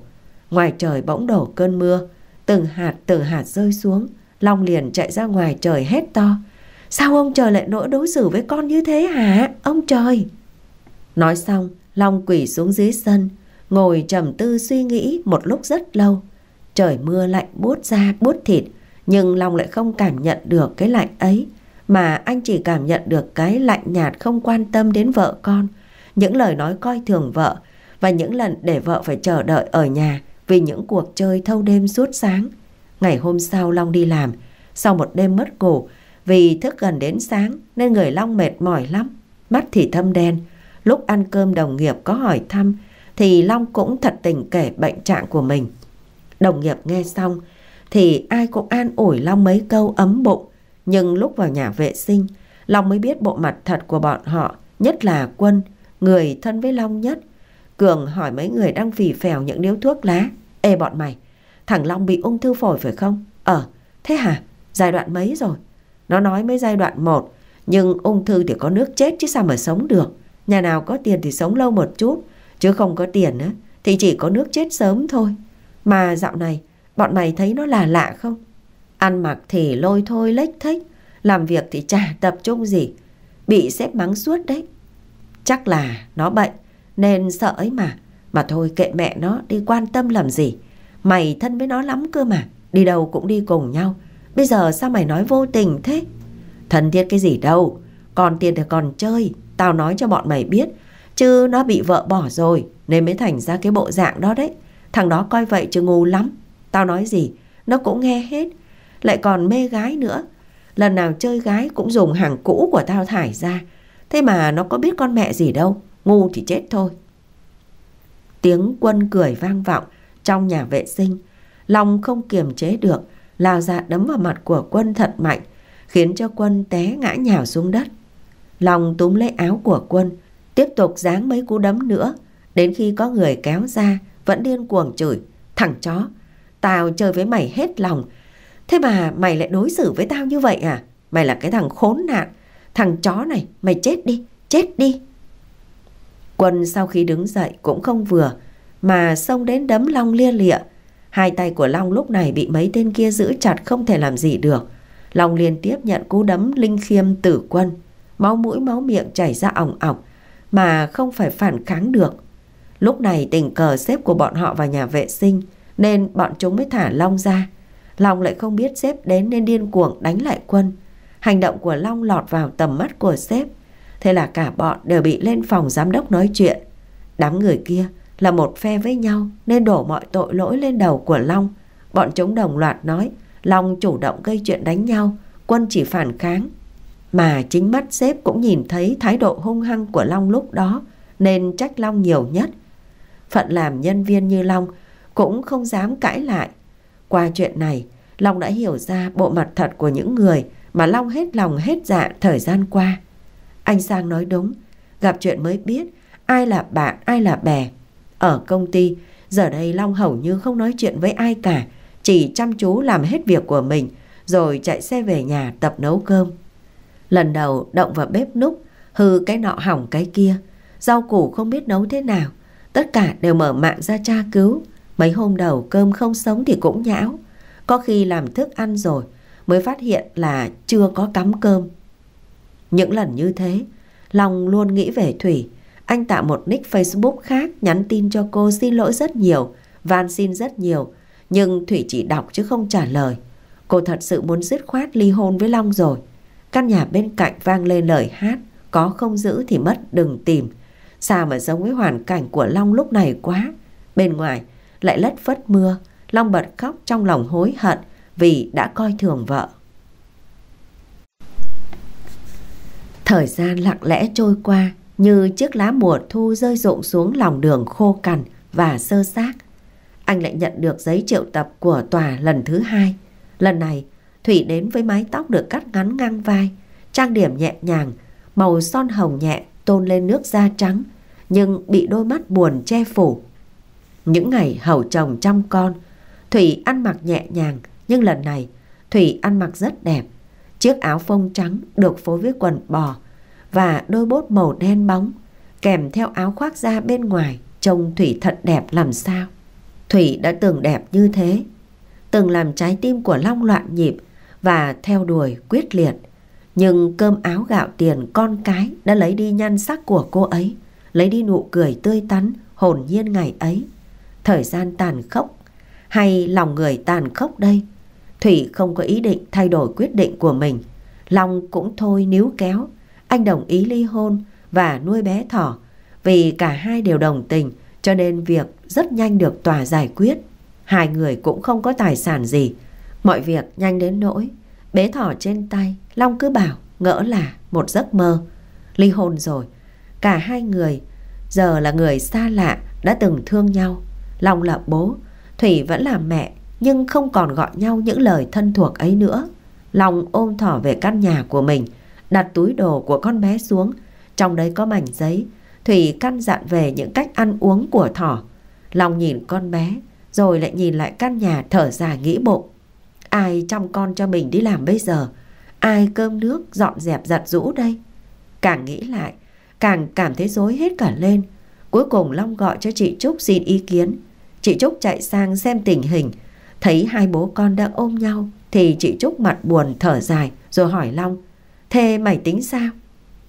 Em chả biết tính sao nữa, giờ sao mà đi làm được đây bây giờ? Gửi tư nhân ít thì cũng một triệu một tháng, chưa kể tã sữa của con với ăn uống của em nữa. Mày gửi thì tao tìm hộ cho, chứ ôm nhau có mà chết đói à? Nó bé thế này gửi cũng tội nghiệp quá. Biết thế, nhưng cũng phải gửi thôi. Đi sớm nó tự lập sớm, đâu còn cách nào khác. Chính Long đã gây ra những chuyện này, thì trách ai được đây? Mấy hôm đầu, Long xin nghỉ làm để trông con bé. Nhưng một con bé 8 tháng chưa biết nói. Long thật sự không biết con bé muốn cái gì. Cứ khóc, lại đi pha sữa, nhưng mà nó không chịu uống. Đến cả cái tã cũng phải mấy lần mới mặc được cho con đúng cách.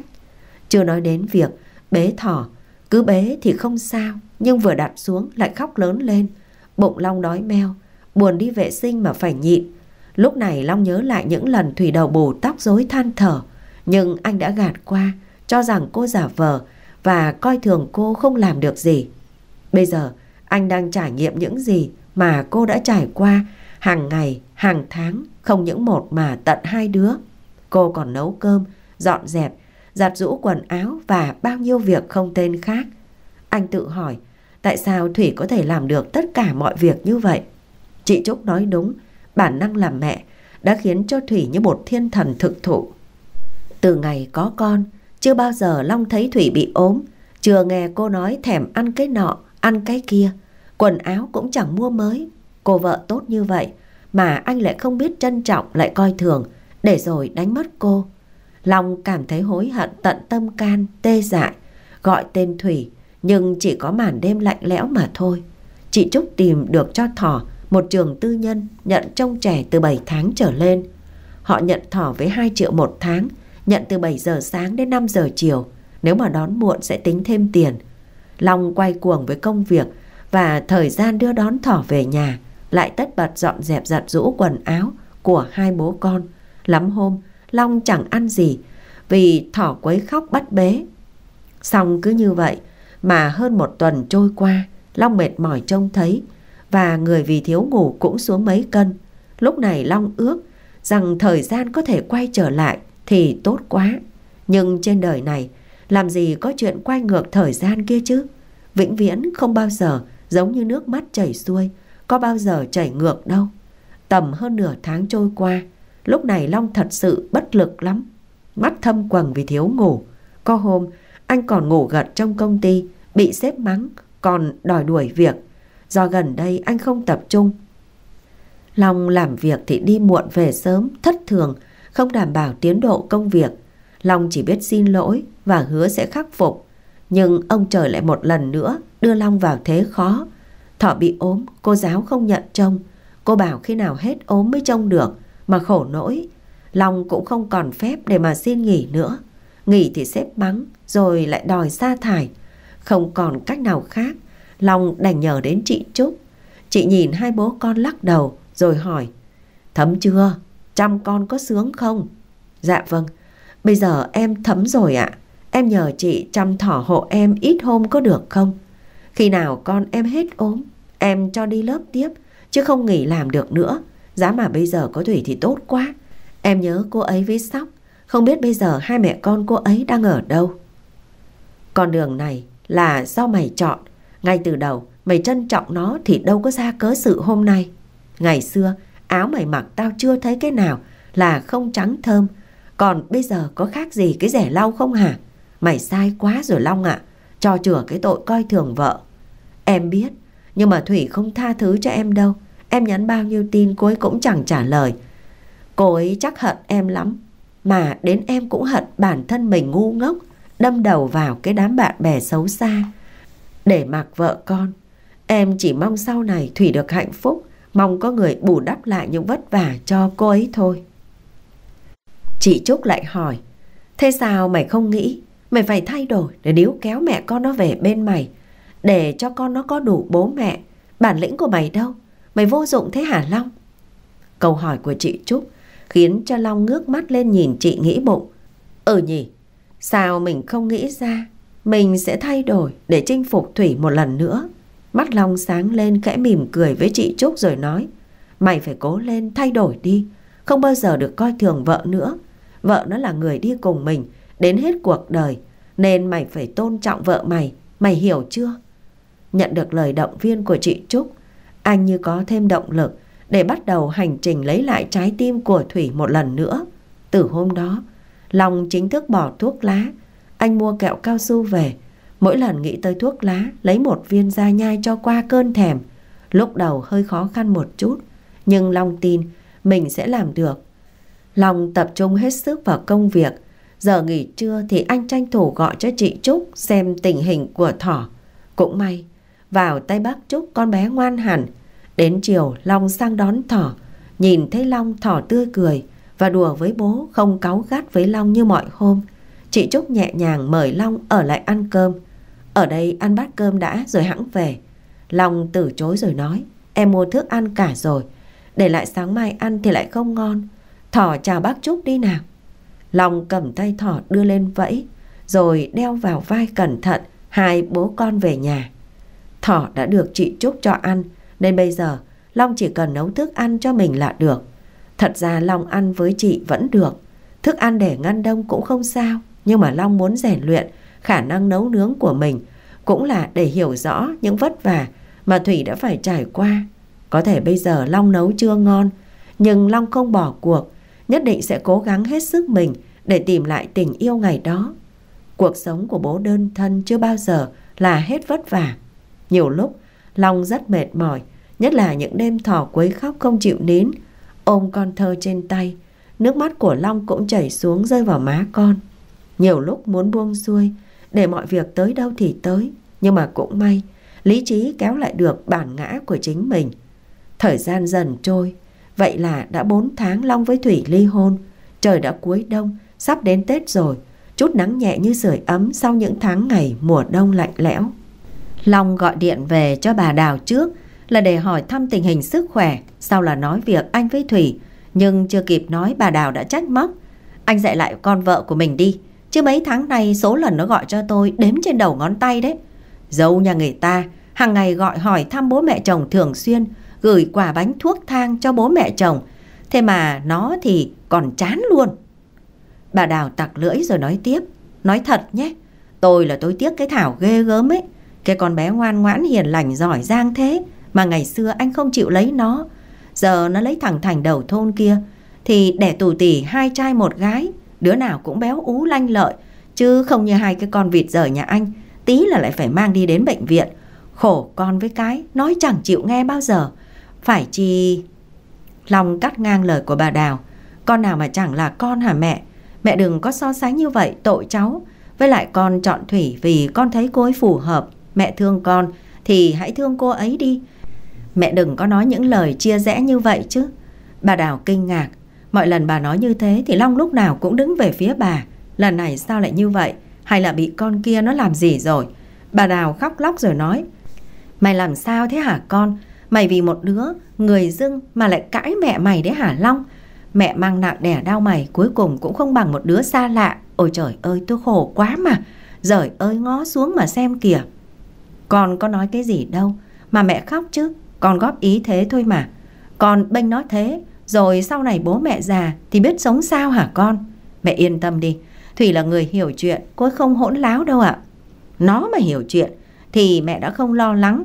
Lúc con không có ở nhà, nó nói chuyện với mẹ láo lắm ý. Mẹ không biết mày ưng nó ở cái điểm gì luôn.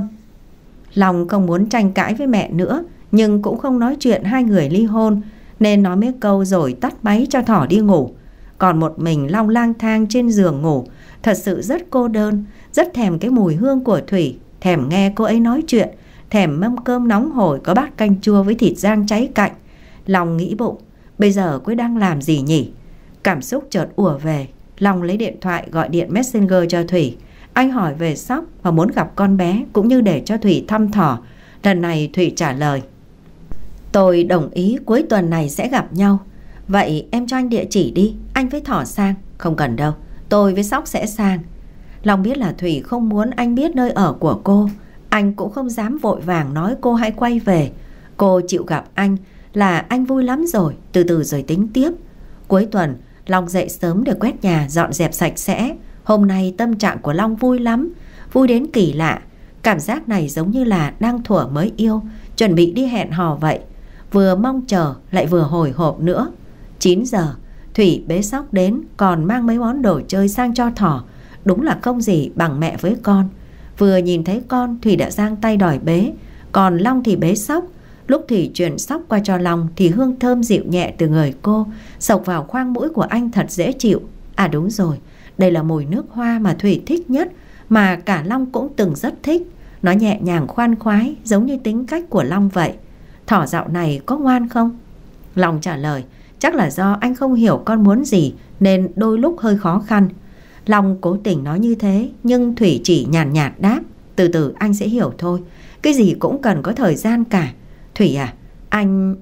Thủy không để Long nói hết câu đã vội vàng nói tiếp vì cô biết Long sắp nói gì. Sáng này con đã ăn gì chưa? Lúc vừa dậy anh cho con uống sữa rồi. Em và Sóc chắc là chưa ăn gì đúng không? Anh đi mua về cả nhà mình cùng ăn nhé. Tôi với Dóc ăn rồi. Em ăn rồi à? Vậy em trông con hộ anh, anh đi mua cháo dinh dưỡng cho con ăn nhé. Được rồi, anh mau đi đi. Long lấy xe chạy ổ đi mua cháo, rồi mua luôn cả thịt cá về nấu cơm. Hôm nay anh sẽ trổ tải nấu ăn cho Thủy xem. Khi về nhà, xe tự nhiên bị thủng xăm, nên Long cố gắng dắt bộ xe về nhà. Trên xe thì treo lỉnh kỉnh đồ đạc. Về đến nhà trước cửa, thì Long thấy Thủy đang dọn dẹp, tay chân nhanh thoăn thoát, còn hai đứa nhỏ thì đang chơi với nhau. Long lùi vào một góc lén nhìn Thủy, có phải cô ấy vẫn còn tình cảm với anh nên mới giúp anh dọn nhà không? Long gión rén từng bước, Thủy đang quay lưng dọn bếp nên cô không hay biết Long đang tiến đến. Bất ngờ Long ôm cô từ phía sau, ôm rất chặt, áp luôn khuôn mặt của mình vào lưng của cô cất giọng nói Thủy, anh nhớ em, rất nhớ em. Thủy vùng vẫy rồi nói, anh làm gì vậy? Bỏ tôi ra nhanh đi. Anh ôm em một chút thôi mà vợ. Vợ cái gì anh? Anh bị thần kinh thế à? Ai là vợ của anh? Tôi không còn là vợ của anh mấy tháng rồi đấy. Anh sai rồi, sai rồi em. Anh không thể sống thiếu em được đâu Thủy à. Anh cần em, bố con anh không thể nào sống thiếu em. Anh xin em đấy, cho anh một cơ hội để chuộc lại những lỗi lầm mà mình gây ra đi. Anh xin vợ đấy. Em hãy vì thỏ và sóc mà tha thứ cho anh đi. Anh đang cố gắng thay đổi bản thân là vì em đấy. Thủy cười lên rồi nói, không có ai thiếu ai mà chết đâu, anh yên tâm đi. Thời gian sẽ làm anh thích nghi được với mọi thứ như thế này, tốt cho cả tôi và anh. Mỗi tháng cứ cho các con gặp nhau là được. Anh mau bỏ tôi ra, hoặc tôi đi về ngay đấy.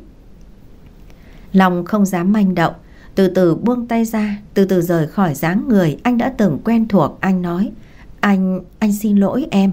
Thủy không đáp lại, chỉ lặng lẽ đổ cháo ra bát rồi đút cho thỏ ăn. Thỏ ăn ngoan ngoãn ngồi vào ghế ngon lành không quấy phá một chút nào cả.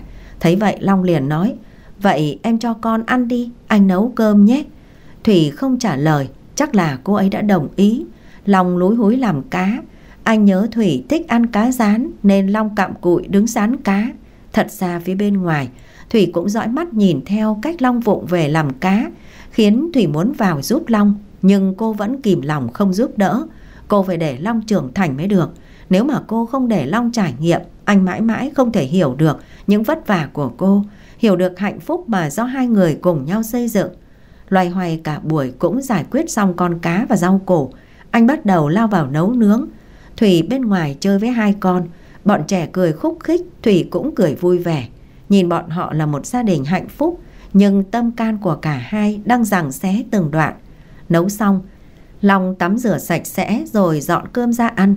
Anh cẩn thận gắp cho Thủy miếng cá to nhất rồi nói Em ăn thử xem có vừa miệng không Lần đầu tiên ăn cá do chính tay Long nấu Tuy trong lòng rất vui Nhưng Thủy lại tỏ ra không mặn không nhạt mà trả lời Bình thường Anh biết là chưa ngon Nhưng mà anh sẽ cố gắng em ăn tạm nhé Bữa cơm trôi qua nhanh chóng Long đề nghị đưa hai đứa nhỏ đi mua quần áo, Vì cũng sắp Tết rồi. Bốn người vào cửa hàng quần áo trẻ em, Để chọn thì có một tiếng nói cất lên, Làm cho cả Thủy và Long đều quay lại nhìn. Thủy cười rồi nói, Anh Khoa, Anh cũng đi sắm quần áo à? Anh đi mua đồ cho mấy đứa cháu ở nhà, Sắp Tết rồi. Với lại năm nay kiếm ăn được, Nên mua tặng cho mỗi đứa một bộ. Nhưng may quá gặp Thủy ở đây. Thủy đi mua đồ cho con hả? Sóc ơi, có nhớ bác Khoa không nào? Khoa cúi xuống muốn nựng sóc trên tay Thủy Long hỏi, Đây là ai vậy em? Khoa nhìn Long, Nhìn sang bé thỏ nữa rồi trả lời, Tôi là Khoa, Từng là đồng nghiệp cũ của Thủy. Long cũng giới thiệu về mình, Tôi là bố của Sóc và Thỏ. Khoa gật đầu Vâng chào anh, rất vui được gặp anh. Khoa quay nói với Thủy tiếp, Hôm trước em để quên bộ quần áo của Sóc, Mẹ anh giặt sạch sẽ rồi. Mẹ anh bảo anh ngày mai rủ em sang ăn cơm anh định chiều mới gọi cho em Nhưng mà gặp em ở đây thì anh nói luôn Ngày mai có dịp gì về anh Ngày mai là sinh nhật mẹ Nhưng mà làm đơn giản thôi Mẹ nói em với Sóc nhất định phải đến đấy Có gì mai anh sang đón em nhé Vâng Thế tầm mấy giờ hả anh? Tầm 6 giờ, nhưng 5 giờ anh sang đón hai mẹ con nhé. Ngày mai có cả cô của anh ở nước ngoài về, cô rất muốn gặp em đấy. Vâng, cũng được ạ. Khoa đảo mắt, nhìn những bộ quần áo treo ở trong cửa hàng, rồi chọn hai cái váy công chúa đưa cho Thủy xem. Em xem cái này sóc nhà mình mà mặc lên thì chắc là xinh xắn đấy nhỉ. Thủy gật gù rồi nói, ôi xinh thế, anh tinh mắt thật đấy. Nào, sóc, thỏ, để mẹ ướm xem nào. Đẹp lắm, hai công chúa của mẹ là xinh nhất đấy. Khoa nói, bác Khoa tặng cho hai công chúa cái váy này nhé. Long lúc này không kìm được mà vội vàng lên tiếng. Cảm ơn ý tốt của anh, nhưng anh cứ mua cho gia đình anh đi ạ. Chúng tôi mua cho con chúng tôi cũng được. Long lấy hai chiếc váy trên tay của Thủy, trả lại cho Khoa, khiến Khoa ngơ ngác nói, Ơ, sao thế? Tôi mua cho các cháu mà. Cơn ghen của Long đã cuồn cuộn. Long nói, tôi tự mua cho con được, không cần anh phải mua hộ đâu. Đi em. Long một tay bế thỏ, Một tay kéo Thủy đi ra ngoài. Thủy cau mày hỏi, Anh làm cái gì vậy? Đang xem đồ cơ mà. Đi cửa hàng khác đi. Chỗ này không đẹp Sao lại không? Quá trời đồ đẹp luôn mà. Anh đã bảo là không cơ mà.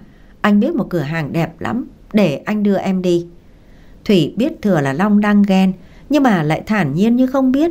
Cứ giữ khoảng cách với Long không hỏi han gì cả. Điều đó càng làm cho Long lo sợ, nên ra sức hỏi chuyện quan tâm đủ kiểu, như hồi anh mới tán tỉnh cô.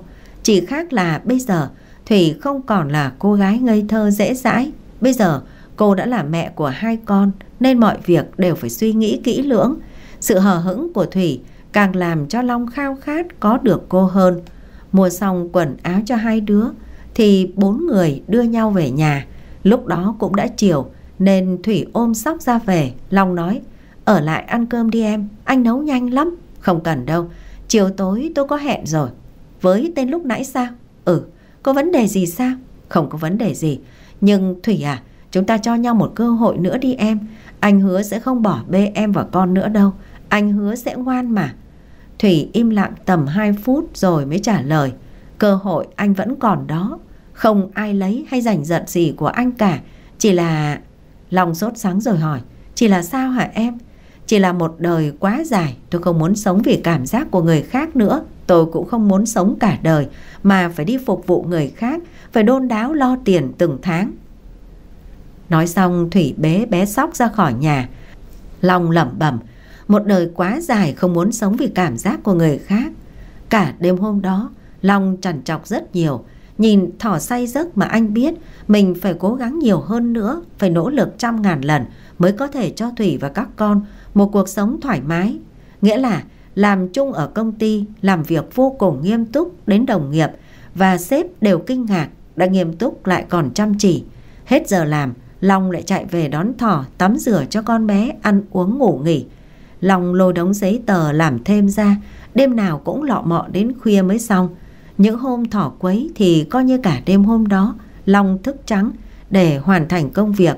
Long có một sở trường là nói và giao tiếp tiếng Hàn. Anh luôn tận dụng cơ hội đó để nhận phiên dịch cho các công ty khác, vì cuối năm công ty nào cũng nhiều việc. Nhờ vậy mà chỉ trong những tháng cuối năm Long đã kiếm được kha khá. Cầm tiền trên tay, anh ghé vào cửa hàng vàng bạc mua cho Thủy một chiếc lắc vàng rồi hẹn cô đến thăm con trước khi về quê ăn Tết. Thật ra hôm nay là sinh nhật của Thủy, anh muốn tặng cho cô một bất ngờ, nhưng niềm hân hoan của Long cũng nhanh chóng bị vụt tắt khi Thủy từ chối.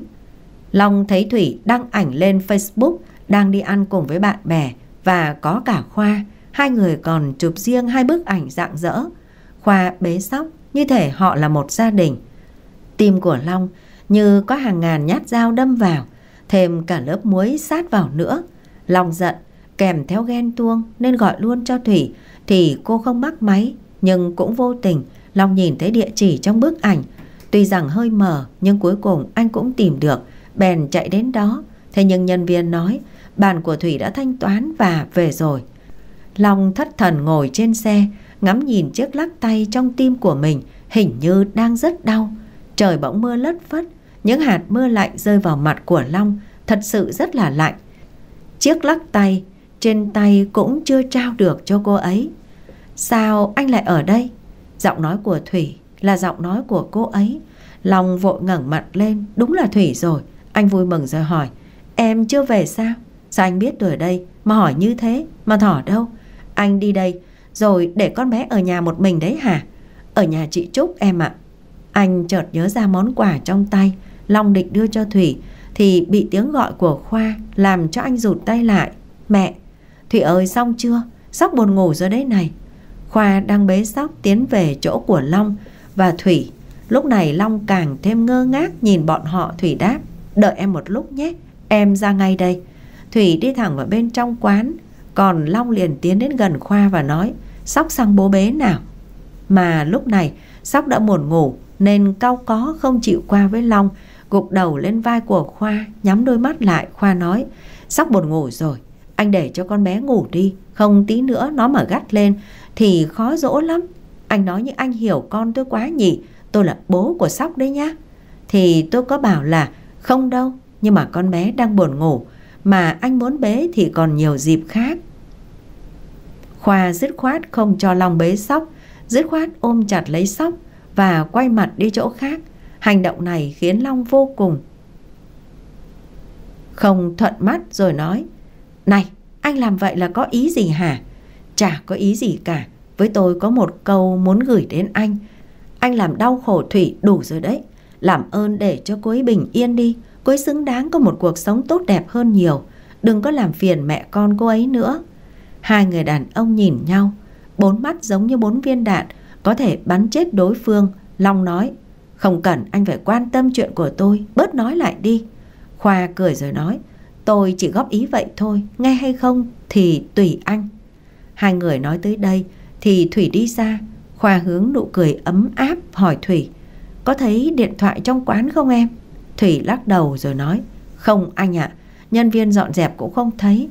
Mà rõ ràng lúc nãy chúng ta vẫn còn chụp ảnh ở kia mà. Lạ thật đấy. Long hỏi Thủy. Em bị mất điện thoại hả Thủy? Vâng. Khoa nhẹ nhàng nói. Thôi, mất thì thôi, em đừng buồn. Mai anh đi mua lại cho cái khác. Dù sao, cái đó cũng cũ quá rồi. Màn hình cũng bị đập vỡ nữa. Bây giờ, về thôi, sắp buồn ngủ lắm rồi. Thủy tiếc chứ, vì đó là cái điện thoại của cô và Long. Nhưng Long đã sớm thay con đời mới hơn, nhưng chỉ có Thủy là còn giữ, vì nó có nhiều hình ảnh của hai người và cả ảnh của sóc thỏ lúc nhỏ. Những thứ đó đối với Thủy vô cùng quý giá, cô thở dài rồi nói, tôi đi trước đây. Thủy nói xong thì đi theo chân Khoa đi về hướng chiếc ô tô đã đậu sẵn. Khoa đã bế sóc mà còn đi trước mở cửa sẵn cho Thủy và rồi mới nhẹ nhàng đưa sóc cho Thủy bế. Mọi hành động Long đều nhìn rất kỹ và ghi nhớ. 25 Tết, thủ đô đông đúc người với những con xe đưa người về quê. Trong căn nhà của Long, Long gấp quần áo và vali để hai bố con ngày mai lên đường. Từ ngày Thủy mất điện thoại, Long không liên lạc được với Thủy.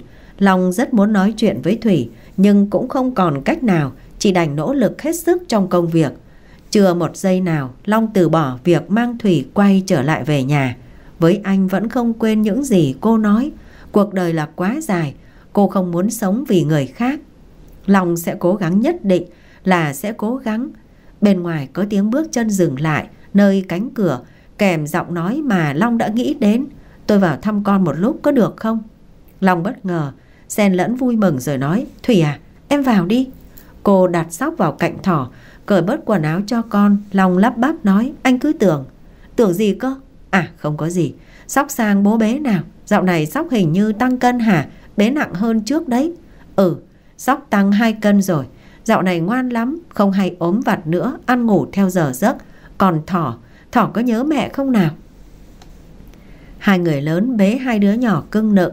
Sóc dạo này tăng cân bộ bẫm hơn rất nhiều. Hai cái má của nó phúng phính, mặc chiếc đầm màu đỏ rất hợp với nước da trắng ngần, lại thoang thoảng hương thơm mùi nước xả vải. Còn Thỏ thì thiệt thòi hơn, nhưng Thủy cũng cố gắng chịu đựng. Cô đau lòng lắm chứ. Cô dứt ruột đẻ ra, làm sao mà cô không đau xót cơ chứ? Cô ôm con vào lòng hôn hít khắp nơi, rồi cô quay sang Long nói, khi nào anh về quê? Mai anh về, thế còn em? Bố mẹ anh biết chuyện chúng ta chưa? Anh chưa nói. Anh có thể nào để hai đứa ăn Tết với tôi có được không? Mẹ anh không thích con gái tôi. Tôi sợ... Em tính ăn Tết ở đâu vậy? Tôi sẽ về với bố mẹ tôi. Anh để tôi đưa hai con về quê, ra mắt ông bà ngoại nhé. Từ trước tới giờ ông bà chưa có thấy cháu. Cũng được, nhưng mà để anh đưa hai mẹ con em về nhé. Một mình em chăm hai con sao được chứ? Thôi, không cần phiền đến anh đâu. Mẹ con tôi tự lo đi được mà. Long nhích lại gần Thủy, giọng trầm ấm như lúc xưa nói với Thủy. Em đừng nói xa lạ như vậy chứ. Cũng lâu rồi, anh không thăm bố mẹ vợ mà. Nhân dịp này hỏi thăm sức khỏe của bố mẹ luôn. Anh biết bố tôi không thích anh, với lại ly hôn rồi, anh không cần phải ngại với tôi đâu. Cứ lo cho anh đi. Bây giờ xã hội tốt xấu không phân biệt được đâu. Để anh đưa mẹ con em về. Em vào nhà an toàn, anh sẽ đi ngay. Bây giờ bắt cóc nhiều thủ đoạn lắm. Thủy cũng sợ. Lúc sáng cô vừa đọc được vụ đánh thuốc mê trên xe khách, nên vì sự an toàn của hai đứa nhỏ, cô gật đầu đồng ý hẹn ngày mai cùng nhau xuất phát, định bụng thăm thỏ một chút rồi về. Nhưng tự dưng tối hôm đó, Thủy thấy thỏ hắt xì liên tục chảy nước mũi và bắt đầu nóng lên. Cô vội vã kêu Long đi mua nhiệt kế về kiểm tra. Đúng là con bé bị sốt nhẹ, lại hơi ho nữa. Thủy lo lắng rồi hỏi, dạo này con bé có sốt không? Anh có thuốc hạ sốt ở nhà không? Có. Anh có mua mấy gói hạ sốt đây. Anh đun nước ấm đi, để tôi lau người cho con, với cả vài cái khăn nữa. Ừ ừ, anh làm ngay. Thủy bế con bé, nó bắt đầu khó chịu, bắt đầu quấy khóc. Thủy giao sóc cho Long, rồi dùng khăn ấm lau mặt cho thỏ. Dỗ dành con bé một lúc lâu sau con bé mới chịu ngủ trong vòng tay của Thủy. Long nhìn đồng hồ cũng đã khuya nên đề nghị. Khuya lắm rồi, đêm nay em ở lại đây nhé.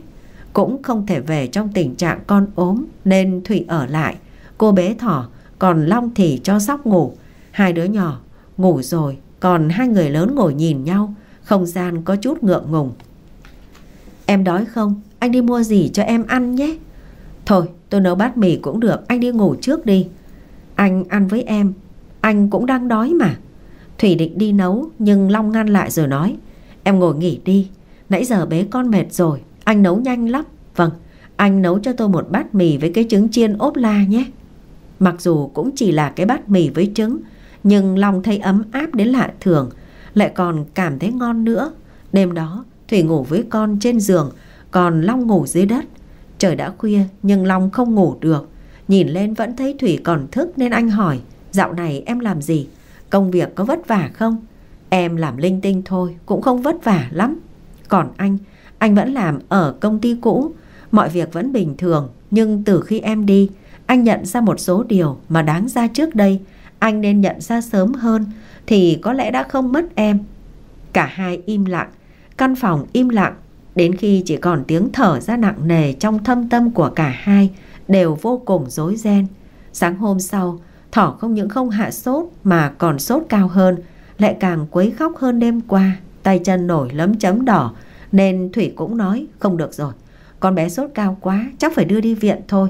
Anh gấp cho em vài bộ quần áo với mang tã sữa đi. Cả bốn người bồng bế nhau, Đưa nhau vào phòng khám gần đó. Bác sĩ thăm khám nói Thỏ bị chân tay miệng, Phải ở lại theo dõi thêm. Con bé nhõng nhẽo, Vì không ăn được sữa, Uống cũng ít, Khóc đòi mẹ, Nên Long thì bế sóc, Mà phải đến chiều bác sĩ mới cho về. Hẹn mai thì tái khám. Vậy là kế hoạch về quê của Thủy không thực hiện được. Còn đau ốm thế này, Phải ở lại theo dõi.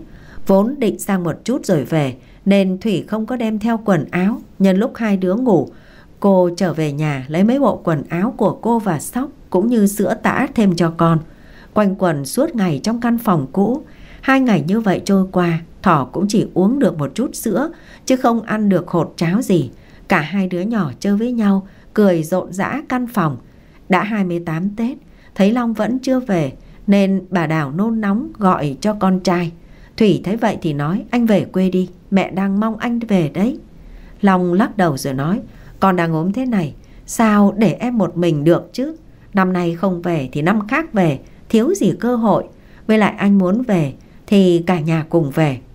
Thủy cười nhẹ một cái Đôi mắt đượm buồn rồi nói Mẹ anh không thích tôi từ trước tới giờ rồi Anh cũng biết mà. Với lại chúng ta có là gì của nhau nữa đâu. Câu nói của Thủy làm cho Long nhói lên trong tim. Long đến ôm lấy Thủy, Giọng trầm xuống nói, Anh xin lỗi. Giờ xin lỗi cũng không còn tác dụng nữa đâu. Anh cứ coi như trả hết duyên, hết nợ cho nhau rồi đi. Thủy, Hãy cho anh một cơ hội sửa chữa những sai lầm của mình. Em cho anh một năm thôi. Một năm thôi, Anh sẽ cho em và con có được một cuộc sống mới. Tốt hơn một năm thôi em. Thế đến lúc đó đi, Rồi nói, Anh sợ rằng người ta sẽ cướp mất em. Em có thể cho anh trong vòng một năm tới Và em hãy hứa với anh Sẽ không quen ai có được không em? Tôi chẳng hứa hẹn gì cả. Anh bỏ ra đi. Thấy Thủy nói như vậy Long liều mình xoay người Thủy lại, Hôn lên đôi môi một cách cuồng nhiệt. Dù Thủy có chống đối, Nhưng hai tay của Long ghim chặt người Thủy xuống Không để cô vụt mất. Thủy phản kháng giống như cá vờn mặt nước, Vì cơ bản là cô không còn đủ sức để mà chống lại Long. Nhưng mà hình như một lúc sau đó Cô cũng vô thức ôm lấy Long Đêm đó hai người hòa quyện vào nhau Sau những ngày tháng xa cách Thỏ bị tay chân miệng nên chị Trúc sang thăm cũng khuyên ở lại theo dõi vì đi đường xa mệt mỏi rồi chia cách hai đứa nhỏ cũng tội nên năm nay Thủy với Long lại ăn Tết tại đây. Nhân lúc Thủy không để ý, chị Trúc huyết vai của Long rồi nói thầm Thời cơ đến rồi đó, còn nắm bắt được hay không là do mày đấy. Em biết rồi, chị đừng có nói với bố mẹ chuyện bọn em ly hôn nhé. Ta biết rồi, cố lên, mày làm được mà. Vâng, anh chị về quê đi đường cẩn thận nhé. Long ra chợ mua thực phẩm về trữ mấy hôm Tết, còn mua cả mấy cái nhánh đào về cho có không khí. Thủy thì không nói gì cả, cô tập Long lo cho hai đứa nhỏ mà thôi. 29 Tết, Khoa tìm đến. Lúc này Thủy đang tắm, Long liền ra hỏi, anh đến đây để làm gì? Tôi đến tìm Thủy, cô ấy không có ở đây. Khoa liếc mắt nhìn thấy đôi dép, Long thấy vậy thì liền nói, cô ấy mang đôi khác rồi, anh về đi. Sóc còn ở đây, thì cô ấy vẫn ở đây Tôi đứng đợi cô ấy. Cái anh này Muốn đợi thì ra quán mà đợi Tôi đã bảo cô ấy không có ở đây đâu. Dứt lời Long đóng cửa cổng lại Trước sự ngỡ ngàng của Khoa. Đã vậy còn mở ca nhạc múa cho Sóc nghe. Thủy tắm xong ngạc nhiên hỏi Sao lại đóng cửa cổng thế? À anh đóng cửa vào cho đỡ sợ trộm ấy mà Thời buổi này Tết rồi Mà chúng nó ăn trộm ăn cắp nhiều lắm. Em đừng có ra mở cửa nhé, Chứ trộm nó vào nó khoáng sạch đồ luôn đấy. Thủy cũng sợ trộm nên ngồi chải tóc, Long lại nói, Thủy này đột nhiên anh đau tay quá, Em giặt hộ anh bộ quần áo kia nhé. Long làm ra gương mặt nhăn nhó, Thủy cũng không nghi ngờ gì Mà đồng ý đi vào mở nước giặt rũ. Khoa bên ngoài, Gọi mấy tiếng không có ai trả lời cả Thêm lòng danh mãnh gọi cho tổ trưởng dân phố nói rằng có người cứ rình mò ở khu này nên tổ trưởng vội vàng đi ra đuổi Khoa đi. Trong này, Long cũng nhanh tay lấy điện thoại của Thủy chặn hết tất cả các liên lạc của Khoa xong xuôi mới thở phào một cái. Nghĩ bộ may mà Thủy không phát hiện ra. Thôi vì tình yêu đành tiểu nhân một chút vậy. Chớp mắt một cái mà đã 30 Tết. Hôm nay những dòng xe đi chơi đón giao thừa tấp nập Long quay sang Thủy rồi nói, Đêm nay nhà mình cũng đi đón giao thừa nhé em. Cho Sóc với Thỏ đi xem bắn pháo hoa. Thôi, không đi đâu. Lúc đó đã muộn lắm rồi, Hai đứa nó không thức được đâu. Năm nay 10 giờ đã bắn rồi em ạ. Mình cho con đi xem xong rồi đi về. Tết mà em cứ thoải mái đi thôi. Thay quần áo trang điểm đi. Anh thay đồ cho con, Rồi cả nhà mình cùng đi. Lòng cứ nịnh nọt quá, Nên Thủy cũng đồng ý. Họ đèo nhau trên chiếc xe máy chậm chậm đi ra lòng đường đông đúc, rồi tìm một chỗ xem bắn pháo hoa. Đúng 10 giờ, trên trời những tiếng vang lên pháo hoa đủ màu sắc. Người người lấy điện thoại di động ra quay, còn Long thì nghiêng người sang hôn má của Thủy, rồi nhẹ nhàng cười nói, chưa bao giờ anh thấy pháo hoa lại đẹp như thế. Trải qua mấy ngày Tết bên nhau, Thủy cũng dần bớt khoảng cách với Long. Anh vui lắm, liên tục pha trò cho ba mẹ con cười. Năm này cũng là năm đầu tiên Long không uống rượu ngày Tết, cả nhà quây quần bên nhau bên bữa cơm nóng hổi. Có lần Khoa đến rủ Thủy đi đâu đó, nhưng Thủy từ chối vì muốn dành thời gian cho các con. Bẵng đi một cái đã mùng năm Tết, Thủy vừa cho hai đứa ăn vừa nói với Long, ngày mai tôi đi làm lại rồi, nên chiều nay tôi với Sóc sẽ về, còn Thỏ cũng đã khỏe nhiều, nhưng tôi sẽ sang thăm con thường xuyên, có phiền anh không? Không phiền chút nào cả, em muốn sang lúc nào cũng được, Bố con anh luôn đợi em về. Ở đây vẫn mãi là nhà của em mà. Thủy làng tránh câu nói đó Bằng cách quay sang cho các con ăn. Cô vẫn muốn thử thách Long thêm một thời gian nữa. Bánh xe thời gian xoay không hồi kết. Long bây giờ khác hẳn Long ngày xưa, Biết từ chối những cuộc vui vô bổ, Chăm chỉ làm việc suốt cả năm qua. Hôm nay, Long còn được xếp cân nhắc lên làm trưởng phòng, Làm việc. Lương cũng đến gần 5 triệu nữa chưa kể hôm nào, Long cũng làm thêm bên mảng phiên dịch, Đánh hợp đồng tiếng Hàn cho các công ty khác. Long còn kiêm thêm môi giới bất động sản. Sự cố gắng kiên trì đó cuối cùng cũng được đền đáp Bằng việc anh liên tục môi giới thành công, Hàng chục mảnh đất có giá trị. Long đứng ra vay ngân hàng số tiền kha khá, Cộng với số tiền tích cóp bấy lâu nay. Anh mua một căn biệt thự rộng lớn. Long mừng đến mất cả ăn cả ngủ. Ngày hôm sau, Long gọi cho Thủy Lừa nói rằng mình bị ngã xe. Thủy không nghi ngờ gì cả, Chạy đến địa chỉ Long nói. Thì thấy anh không sao cả. Thủy tức giận rồi nói, Anh bị hâm à? Anh bảo anh bị ngã xe, Mà giờ còn lành lặn không một vết xước như thế này à? Tôi mất công mất việc vì anh đấy. Anh có biết không hả? Long cười nắm tay của Thủy, Rồi tiến vào khu nhà. Thủy ngơ ngác nói, Anh đưa tôi vào nhà ai đây hả Long? Vào đi rồi em sẽ biết. Hôm nay anh bị làm sao thế? Long cười mà không nói gì. Dẫn Thủy đi xung quanh căn nhà rồi hỏi cô, Em có thích không? Thích gì? Căn biệt thự này này, Nó có hợp với em không? Nhà người ta mà tôi thích làm cái gì? Anh hôm nay cứ như là thẳng dở hơi ấy. Lúc này, Long mới lấy ra quyền sổ đỏ đưa cho Thủy rồi nói, Cái gì đây? Em xem đi rồi biết Thủy há hốc mồm khi thấy tên mình trong sổ đỏ Cô nhìn Long, Rồi lại nhìn căn biệt thự lắp bắp hỏi, Căn biệt thự này là của anh mua sao? Long lắc đầu cầm lấy tay của Thủy, ánh mắt chiều mến rồi nói, không phải, đây là căn biệt thự của chúng ta. Anh bất ngờ lấy từ trong túi ra chiếc nhẫn lấp lánh, rồi quỳ xuống dưới chân Thủy, Long nói, từ khi em đi, anh biết cảm giác mất đi thứ quan trọng nhất đau khổ như thế nào. Anh đã rất đau khổ, rất sợ. Anh đã khóc về đêm vì nhớ em. Anh nhận ra không có em, cuộc sống của anh trở nên vô nghĩa biết bao. Hai chiếc dép phải có một đôi thì mới đi được. Và nó cũng như anh thì phải có em thì anh mới hạnh phúc được. Chúng mình làm lại từ đầu em nhé, vợ của anh. Khuôn mặt của Long vô cùng nghiêm túc, đôi mắt chứa bao nhiêu hy vọng và chờ đợi. Còn Thủy cô xúc động lắm. Thời gian qua Long đã làm những gì cô đều biết. Anh cố gắng ra làm sao, vất vả ra sao, Thủy cũng biết rất rõ. Cô dặn lòng phải cứng rắn để Long trưởng thành hơn. Và hôm nay có phải cô nên tha thứ cho Long rồi không? Đầu đó những bước chân truyền đến, tiếng vỗ tay cùng với giọng cười của Sóc và Thỏ vang lên. Đồng ý, đồng ý, đồng ý, đồng ý đi Thủy ơi. Ờ, chị Trúc anh sang, hai anh chị làm gì ở đây vậy ạ? Sóc và Thỏ bây giờ đã biết đi, hai đứa bậm bẹ ra chỗ Thủy, còn ôm một bó hoa to đến đưa cho Thủy, rồi đồng thanh nói, bố mẹ ơi, bố mẹ ơi. Chẳng biết ai dạy, mà Thỏ nói bằng cái giọng chưa rõ của mình. Mẹ Thủy lấy bố Long đi ạ. À? Sóc cũng nói theo, lấy bố Long, lấy bố Long. Lúc này Thủy cũng không còn lý do để mà từ chối. Cô đưa tay ra để Long đeo nhẫn vào. Long giống như các nam chính trong ngôn tình, hôn lên tay của Thủy. Anh vừa nắm vừa nói, anh sẽ không để bàn tay này vất vả vì anh nữa đâu, anh thề đấy.